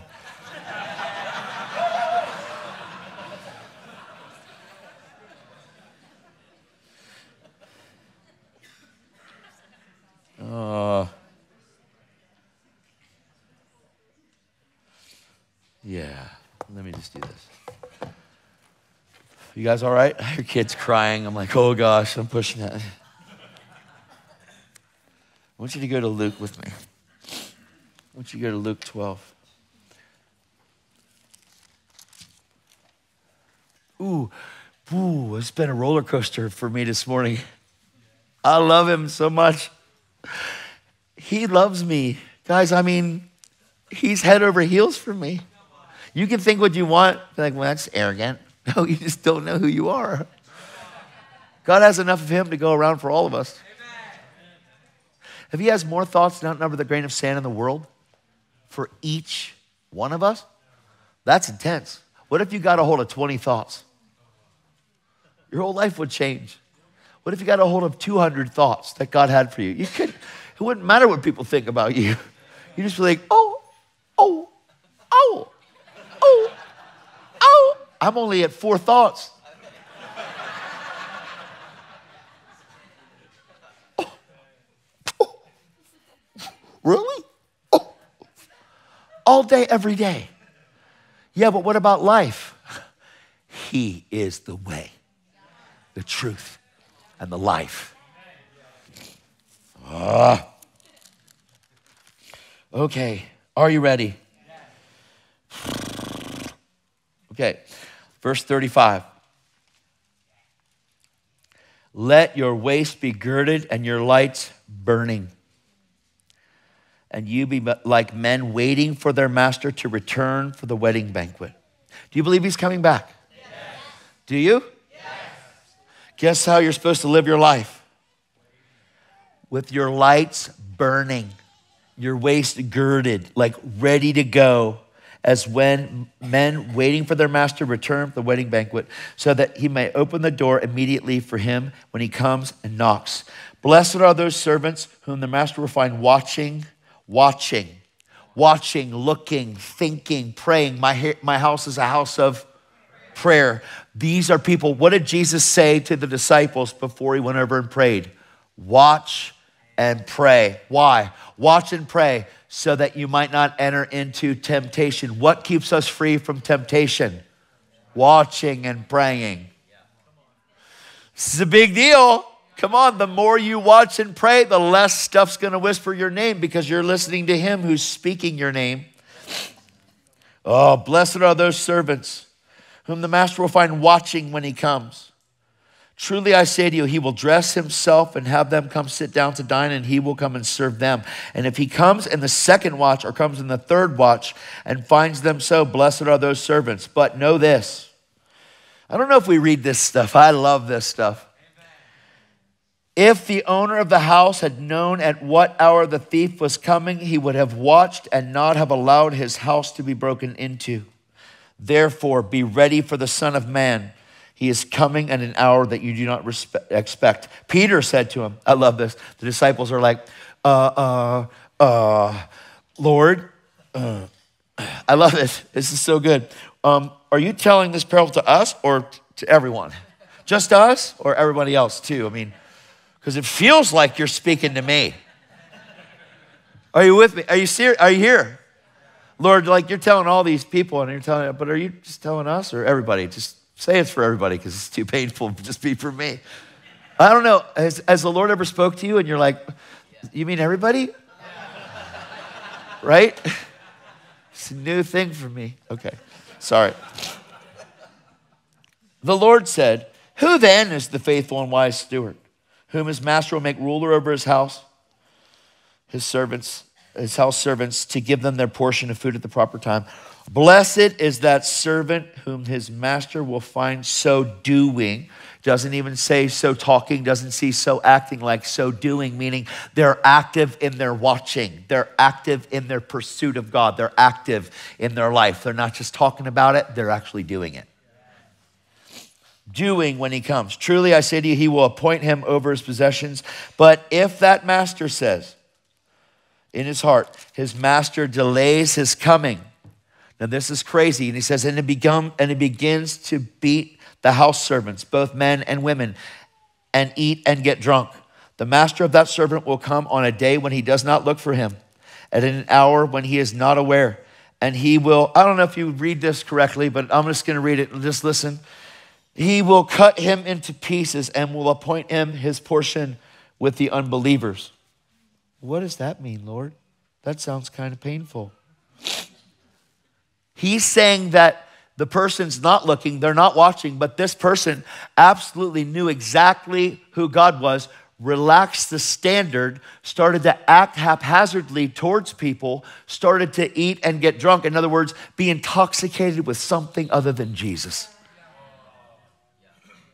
And the only thing that intoxicates you more than or other than Jesus is the world. You'll either be intoxicated, intoxicated, influenced by the world or influenced by Jesus. These were influenced by the world and started to live in an ungodly manner to do ungodly things. He says that I will cut him to pieces and appoint him his portion with unbelievers, meaning this person was a leader. This person was somebody that was ahead of. This is what I read to make sure that I keep my heart in check because you want to be a teacher, you want to be a pastor, you want to be, this is stuff leaders need to know.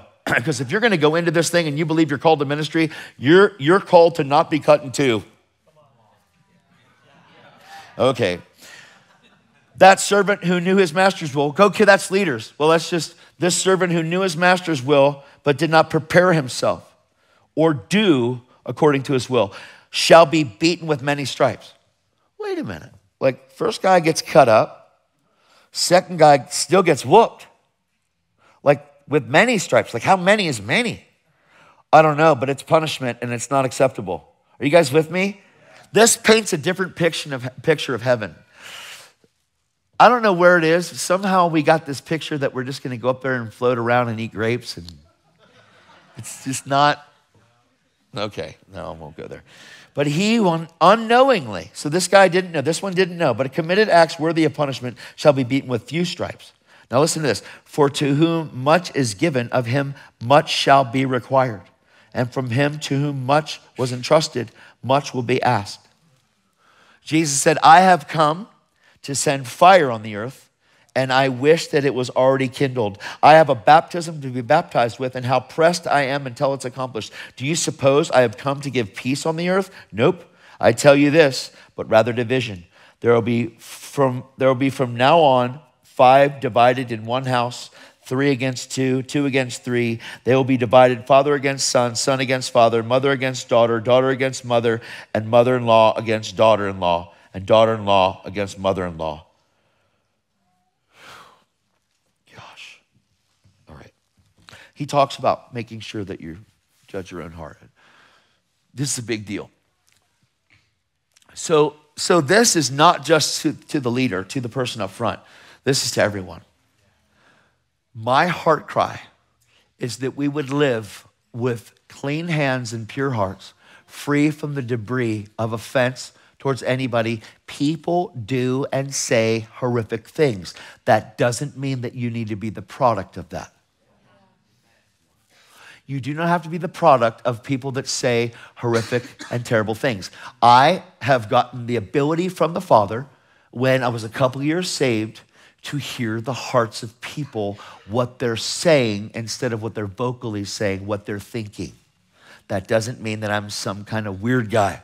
God started doing it with my family. Started doing it because they hated me and they didn't like me and they would say nice things to my face, but God started to show me what they were saying behind the closed door.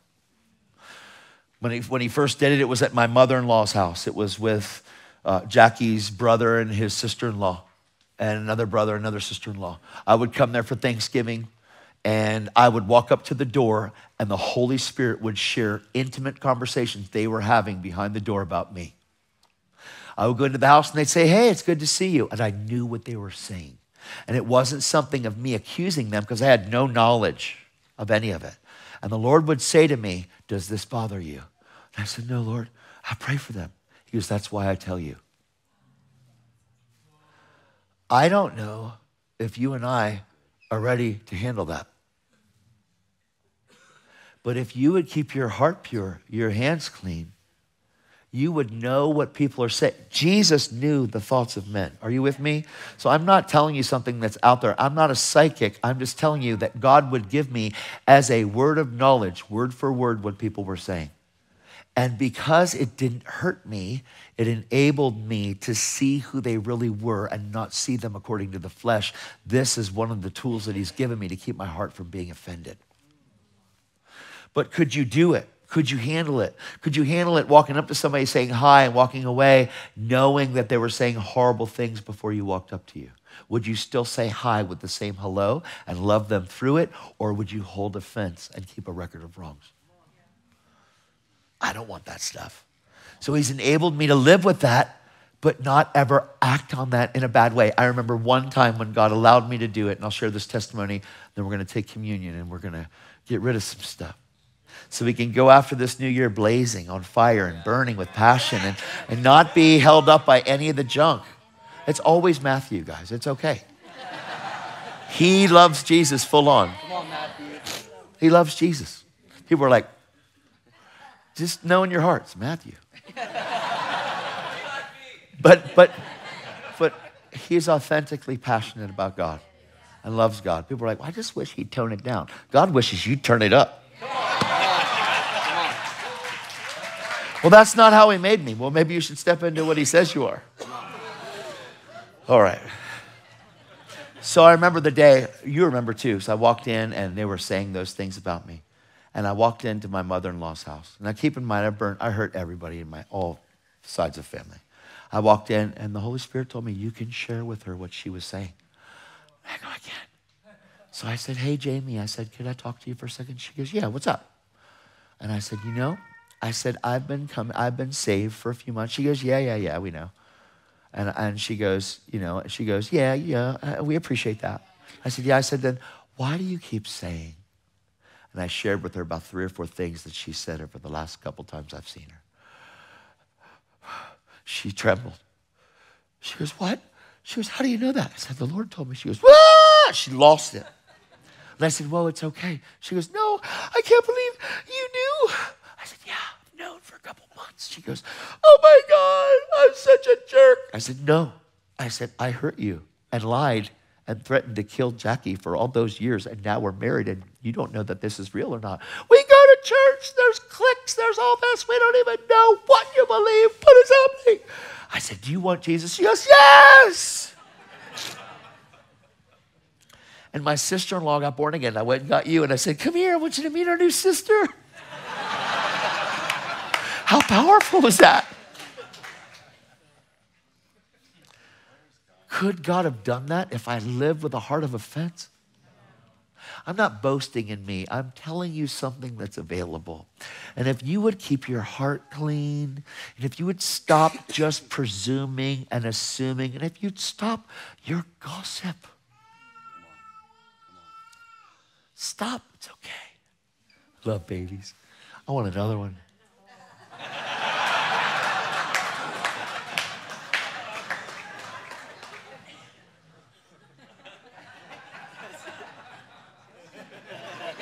She shooed me. We have 26, 17. How old are you going to be soon? Come on, tell them. I'm going to be 10. She's 12 right now. She's going to be a teenager soon. Then we have another little seven year old and a four year old.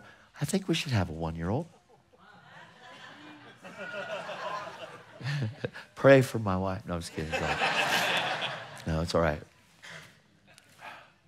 Guys, God wants us to be free. Life is too short. Wouldn't you like to leave this place today completely free of debris, entering back into your first love, loving God, free from being offended? I am telling you right now that there is a weight that unforgiveness and offense carries to it that keeps you weighed down, and before you know it, you feel like, oh, wow.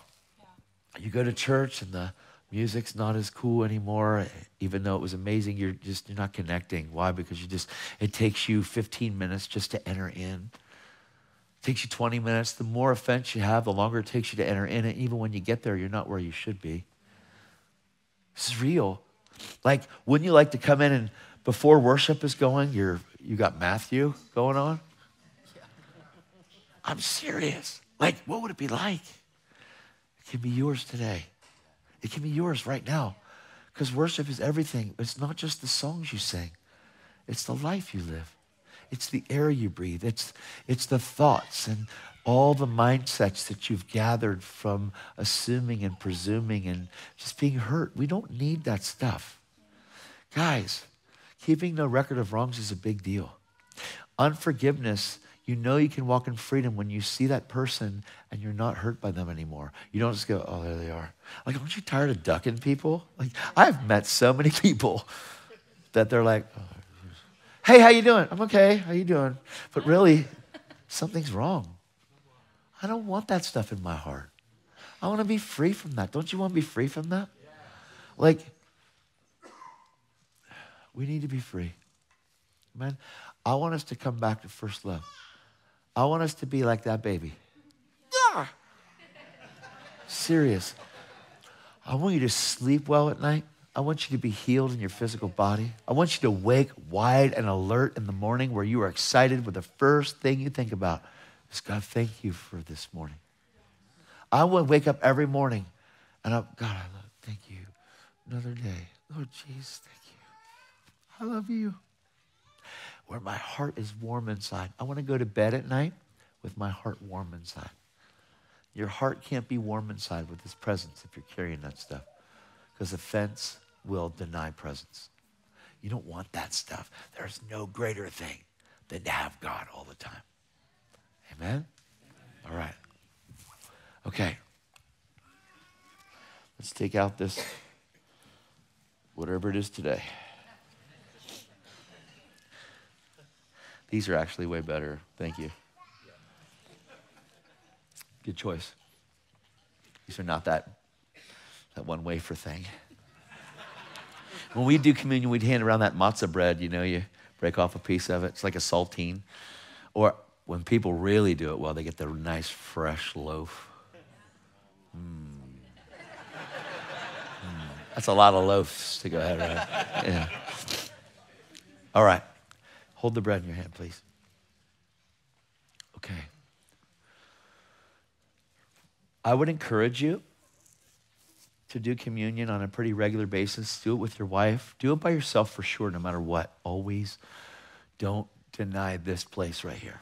Because this is a place where when we do this, we're remembering Him. But when we do this, I, I want God to mark you today that you'll never be able to do this offended again. I want him to mark you today that you'll never be able to do this offended again. You will only be able to do this with an unoffended heart. And if you do it regularly, you keep your unoffended heart clean. You just keep it pure. You don't. But I want, I want you to know, and it says this on the night that he took the bread, it says, on the night that he was going to be betrayed, he took the bread. The key to that is that he knew he was going to be betrayed, and so he took the bread. So I want you to understand something. This Christian life is full of betrayal. Full of betrayal. So every time you take this bread, I want you to think, I could be betrayed. That's okay, because you were betrayed. You did it all for me. God, thank you. Lord, we thank you for the body. I thank you right now in the name of Jesus. Thank you for the bread. Thank you for your body, God. You paid a price for me, Jesus. You were broken for me. God, thank you. You were striped, you were whipped, you were beaten. God, it says there were seven different places that you shed blood on that tree and before that tree. God, I thank you for the crown of thorns. I thank you for the spear in your side. I thank you for the near. I thank you for the beatings, God, the beard being ripped out, everything, Lord. We love you. We love you. We love you. We love you. Father, we thank you for the bread. I want you to, I want you to take one of your pieces and I want you to look at it. And we say, God, I thank you for the body of Christ. I thank you for every person. Lord, thank you for every person, all the people that I've been offended by. I'm letting them go right now. I do not want to walk in offense. God, I'm asking you to take this heart and purify it. Lord, I let them go right now. I forgive and I let them go. I let them go. Father, forgive them. They know not what they do, just like you did on that tree, Lord Jesus. You said, Father, forgive them. They know not what they do just like you did, Jesus, and they beat you unmercifully and they absolutely obliterated you to where you were unrecognizable. And Jesus, we know you became unrecognizable so that we could become recognizable again. Father, thank you for your body that was broken for me. Lord, we love you. We do this in remembrance of you with a clean conscience, with pure hearts and clean hands. In Jesus' name.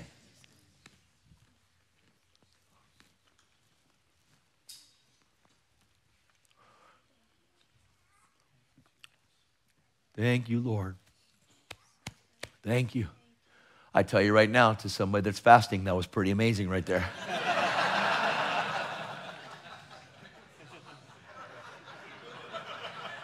I ain't gonna lie. Anybody got an extra bread? I'm just kidding. I'm just kidding. I'm sorry. I'm sorry. Sorry. that was good. Woo! My eyes just went. Whoa! All right, let's do this. Yes. Sorry. Whoa. Father, we thank you for the blood. We thank you for this covenant, God. You have forgiven us. God, you didn't just forgive us, you removed our sin. God, you said in this covenant, this is the covenant that I will make with them. Their sins and their lawless deeds I will remember no more. God, you don't remember our sin. You remember it no more. You removed our sins as far as the east is to the west. Jesus, we love you. We don't want to now sin and get away with it. We want sin to get away from us. Father, let us live an amazingly pure life. We thank you for the blood. Thank you for the blood. Thank you for the blood. Thank you for the blood that washes us white as snow, God. I thank you that when you see us, you see us through your Son. Lord, you see us as a blood washed bride. Father, we thank you. We thank you. We thank you. We thank you. Would you just thank Him? Would you thank Him with your whole heart right now? Just personally, would you thank Him? Thank you, Lord. Thank you. Thank you. Thank you for forgiving me, God. Thank you for setting me free. Thank you for forgiveness. Thank you. God, I thank you for the freedom from addiction in the name of Jesus. God, I thank you for the meal that heals in the name of Jesus. God, I thank you for freedom from any disorder that drugs had brought into my life. I thank you for the, for the healing for any bit on my skin that's a residue of a life I used to live. I thank you for any transmitted yes. disease that was brought in through a life of sin because we get forgiven. Therefore, we have the complete ability to be healed. God, we thank you that everything leaves cutting scars, track marks, everything. Lord, we love you. We thank you for covenant. Father, we worship you. We worship you. God, we give you glory. Thank you. Thank you, Papa. Lord, we covenant with you. We thank you. Every time we do this, we do this in remembrance of you. Thank you for the blood of Jesus. The blood of Jesus. Thank you for the blood, God. Thank you, God. We worship you. Lord, we love you. In Jesus' name, amen.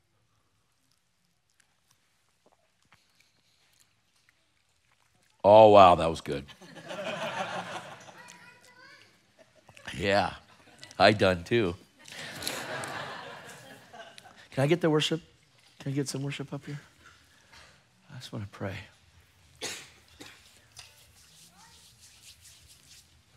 Wow, adrenaline. Bah, brr.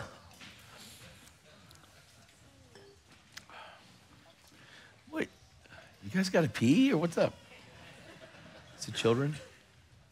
They just left. My own wife left. What is happening? There's only one bathroom. Is that the kids? What's that sound? That was awesome. It was the Lord. Yeah. Okay. Sorry. Oh, Jesus, I love you. Thank you so much, God. Thank you. Can everybody stand real quick?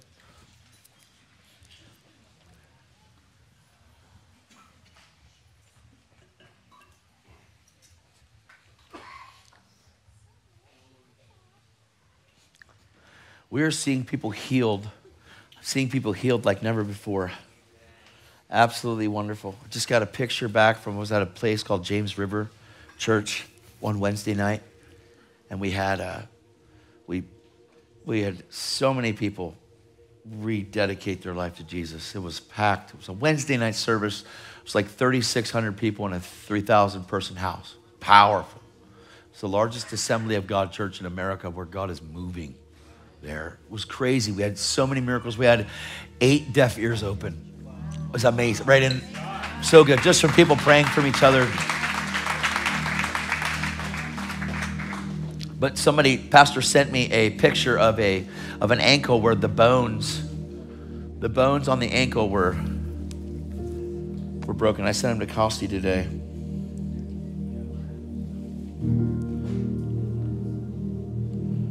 Look at this.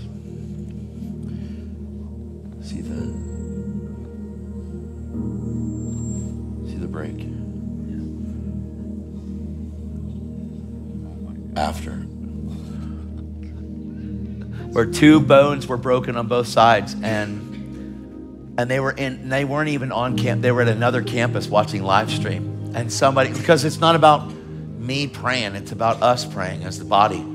So people prayed for them. They went back to the doctors. They were di- they broke their ankle on the 3rd of january. They went to the doctor on the 4th and the bones were completely healed and the doctor said i guess god has healed you you can resume to all activity. But they have the they have the the X-rays, which is awesome. I love it. I, want to pray for healing, but I, I want to know, like, I, I was planning something completely different today. I really was. I was in Proverbs 2 this morning and Psalm 130, 145, and I was in Hosea, and I'm like, yeah, I'm so good. And I was gone when I came up here. So I want to I want to know, and I don't need you to congratulate me or thank me. I want to know whose heart received real freedom today. I just want to see that right there.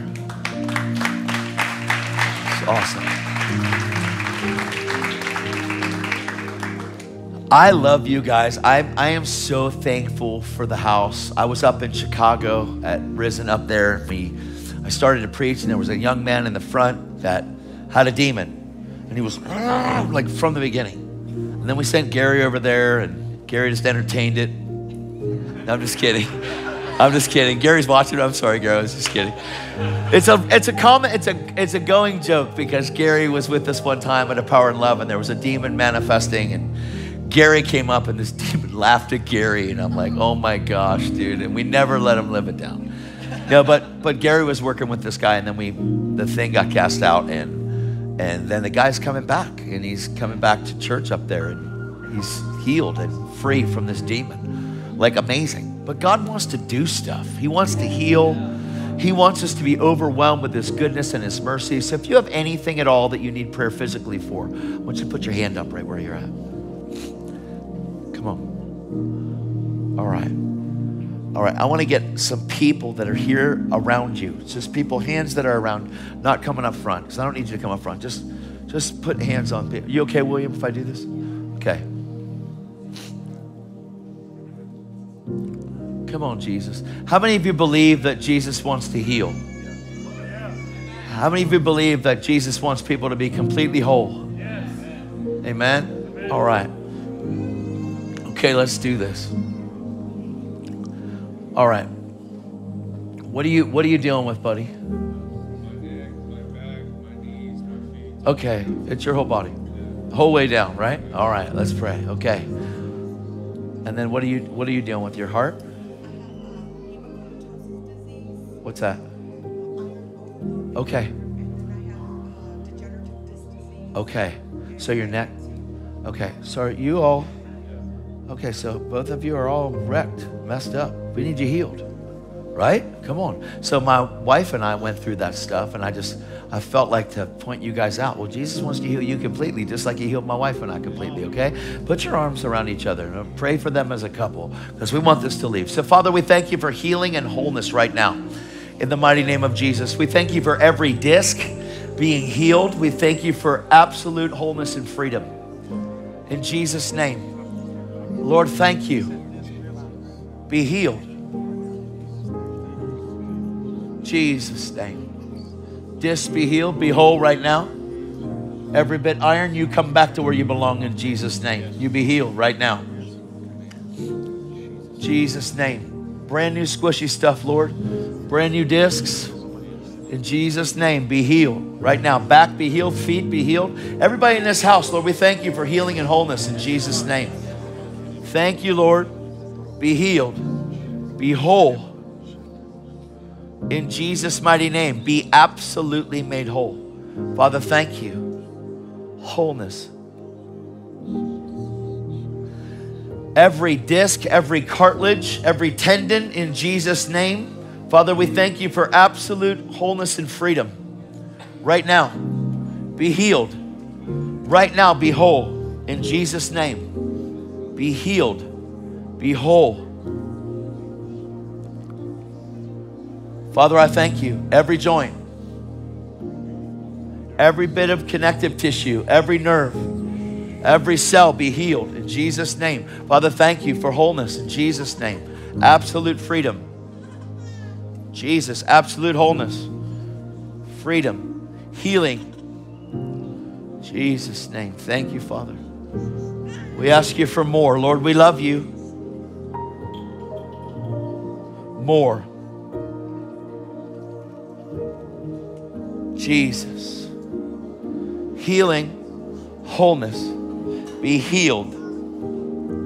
Body be made whole.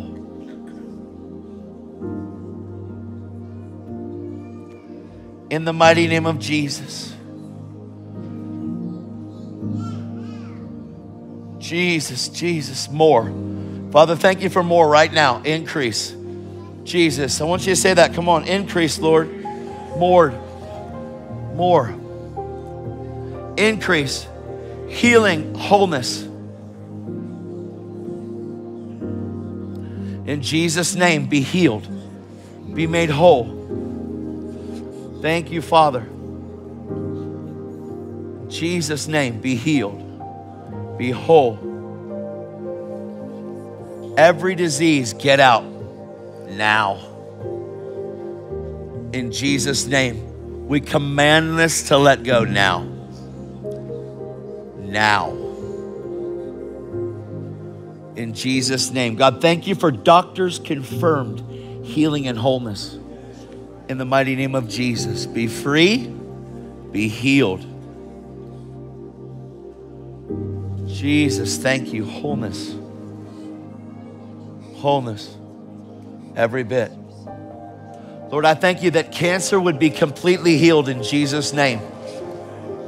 Absolute wholeness in Jesus' name right now. Great freedom. Father, I thank you for immune systems being healed in Jesus' name. Thank you, Lord, more. We ask you for increase. In Jesus' name.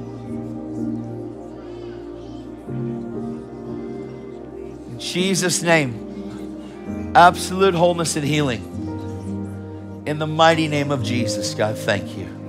Great freedom.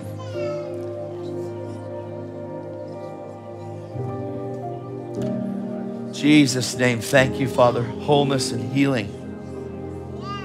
You're good. Stay right there. You're right. Healing and wholeness. Be healed right now. Father, I thank you. In Jesus' name, complete healing right now. Be healed. Be whole. Blood be healed. In Jesus' name. Organs be healed right now. Every cell Father, I thank you for the doctors re looking at a diagnosis of healing. Jesus' name, no more sickness, no more. In the name of Jesus, God, I thank you for absolute wholeness. Every organ you be healed in Jesus' name. Doctors confirmed in Jesus' name. Jesus' name. Yes. Come on, God, more. Jesus, healing, wholeness. You be healed right now. You let her go in Jesus' name. I command you, let her go. In Jesus' name. Great peace, God, right now. Great shalom in the name of Jesus. In Jesus' name. Father, I thank you for faith. In Jesus' name. We, we command fear to leave. In Jesus' name, this is not the end. In Jesus' name, you be healed. Body be made whole, complete. Every symptom leave right now. In Jesus' name, great freedom. Great freedom. Great freedom. Great freedom. Great freedom. Jesus. Jesus. Great freedom, great healing in Jesus' name. Thank you, Lord. Thank you, Lord. Jesus' name, you be healed. Jesus, thank you. God, we love you. We give you honor and glory. In Jesus' name, thank you, Father. Thank you, Lord. Jesus' name. Thanks, God. 100% wholeness, God. Every cell you be healed. Thank you for this faithful man of God, one that has prayed his whole life. God, thank you. Every cell you be healed in Jesus' name. Be healed right now.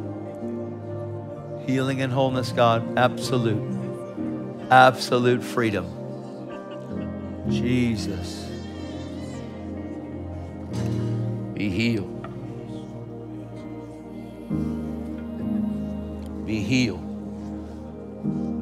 Jesus' name, thank you, Father. Father, I thank you for every symptom leaving this place in Jesus' name. Leaving, leaving, leaving. Every symptom in Jesus' name. Thank you. Great freedom. Jesus, great freedom. Jesus.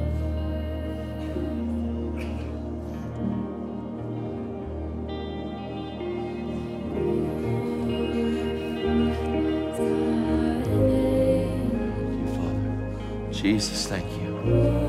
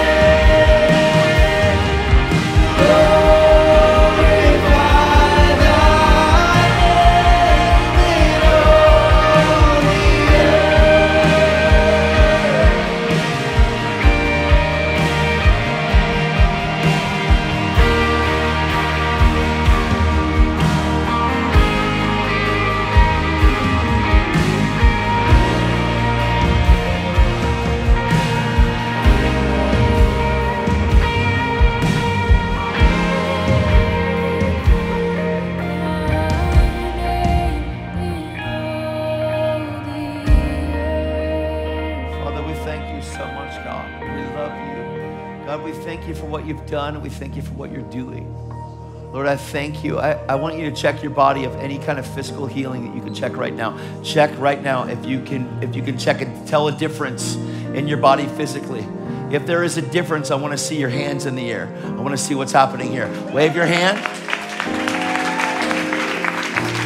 If you know there's a physical difference in your body, wave your hands at me so I can see.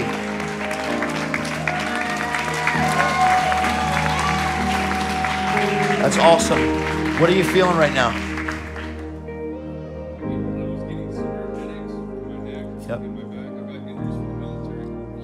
I want you to check. Come out in the aisle.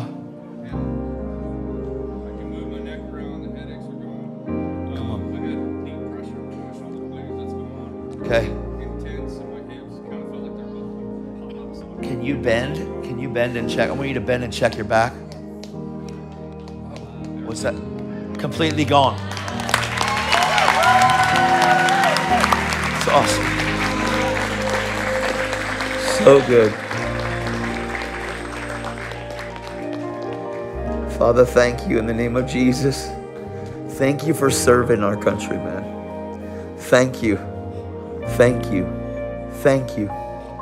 Thank you. I thank you on behalf of our country for serving us, man. Thank you. Thank you. Thank you. Jesus, I ask you for more right now in Jesus' name. Right now, more for this man. More.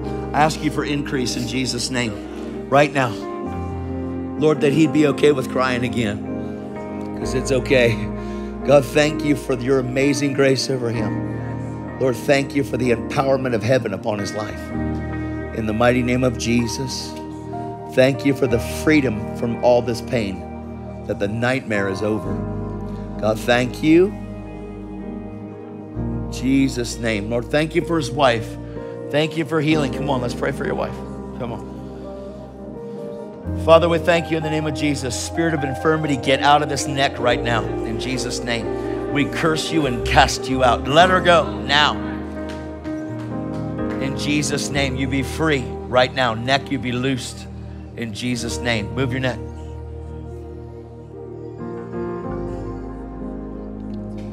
Is it better? It's not gone though. Come on, let's do it again. Hey, you are worth the blood of Jesus. You hear me? Look at me. You're a daughter of the King. He loves you. He loves you. Look at me. He loves you. You are his kid that he died for. He loves you.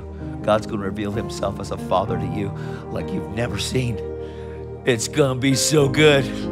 Come on, the first part of this is the healing of your neck. Neck, you be loose right now. You let her go in Jesus' name. Move it around again.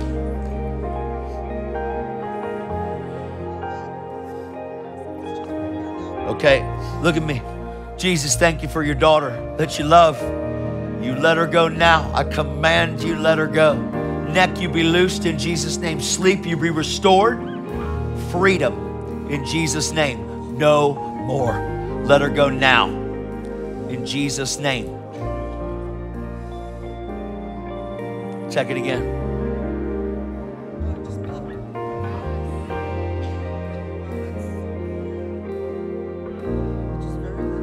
Okay.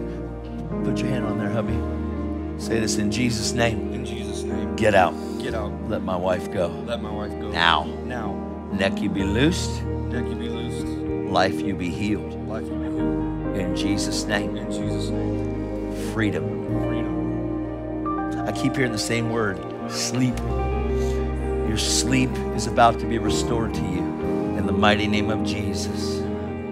Check it again.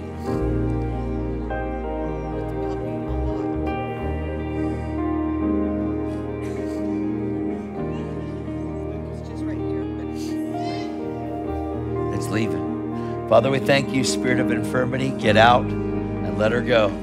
Absolute freedom and wholeness. In Jesus' name, freedom and wholeness. Neck you be loosed. In Jesus' name. I'll break this thing off of your family because it's tried to touch your whole family. In the name of Jesus, we break it right now. There is no curse that makes it through the generational bloodline of Jesus, buddy. Right now, in Jesus' name, we break this thing off of your kids. In Jesus' name, no more torment. In Jesus' name, no more fear. No more fear. No more. You hear me? No more fear for you. He loves you so much. What's your name? Blaine. I love you, Blaine. Bless you, buddy. It's your mama. It's your mama. Amen. Father, we thank you for absolute freedom. In Jesus' name, 100% wholeness. Thank you, Brand new. Jesus' name. Jesus' name, be free.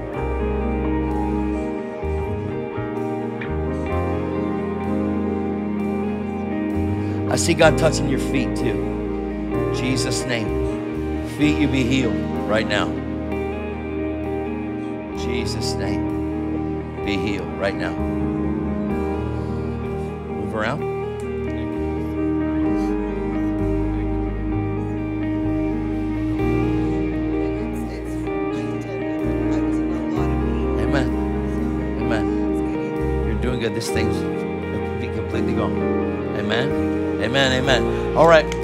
Else got healed? Raise your hands. Flip your hands at me. If you got healed of something today, put your hands up.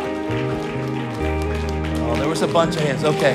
Awesome. You good? You good? Come on. You good? Come on. That's good. Can we give Jesus a big shout? Come on.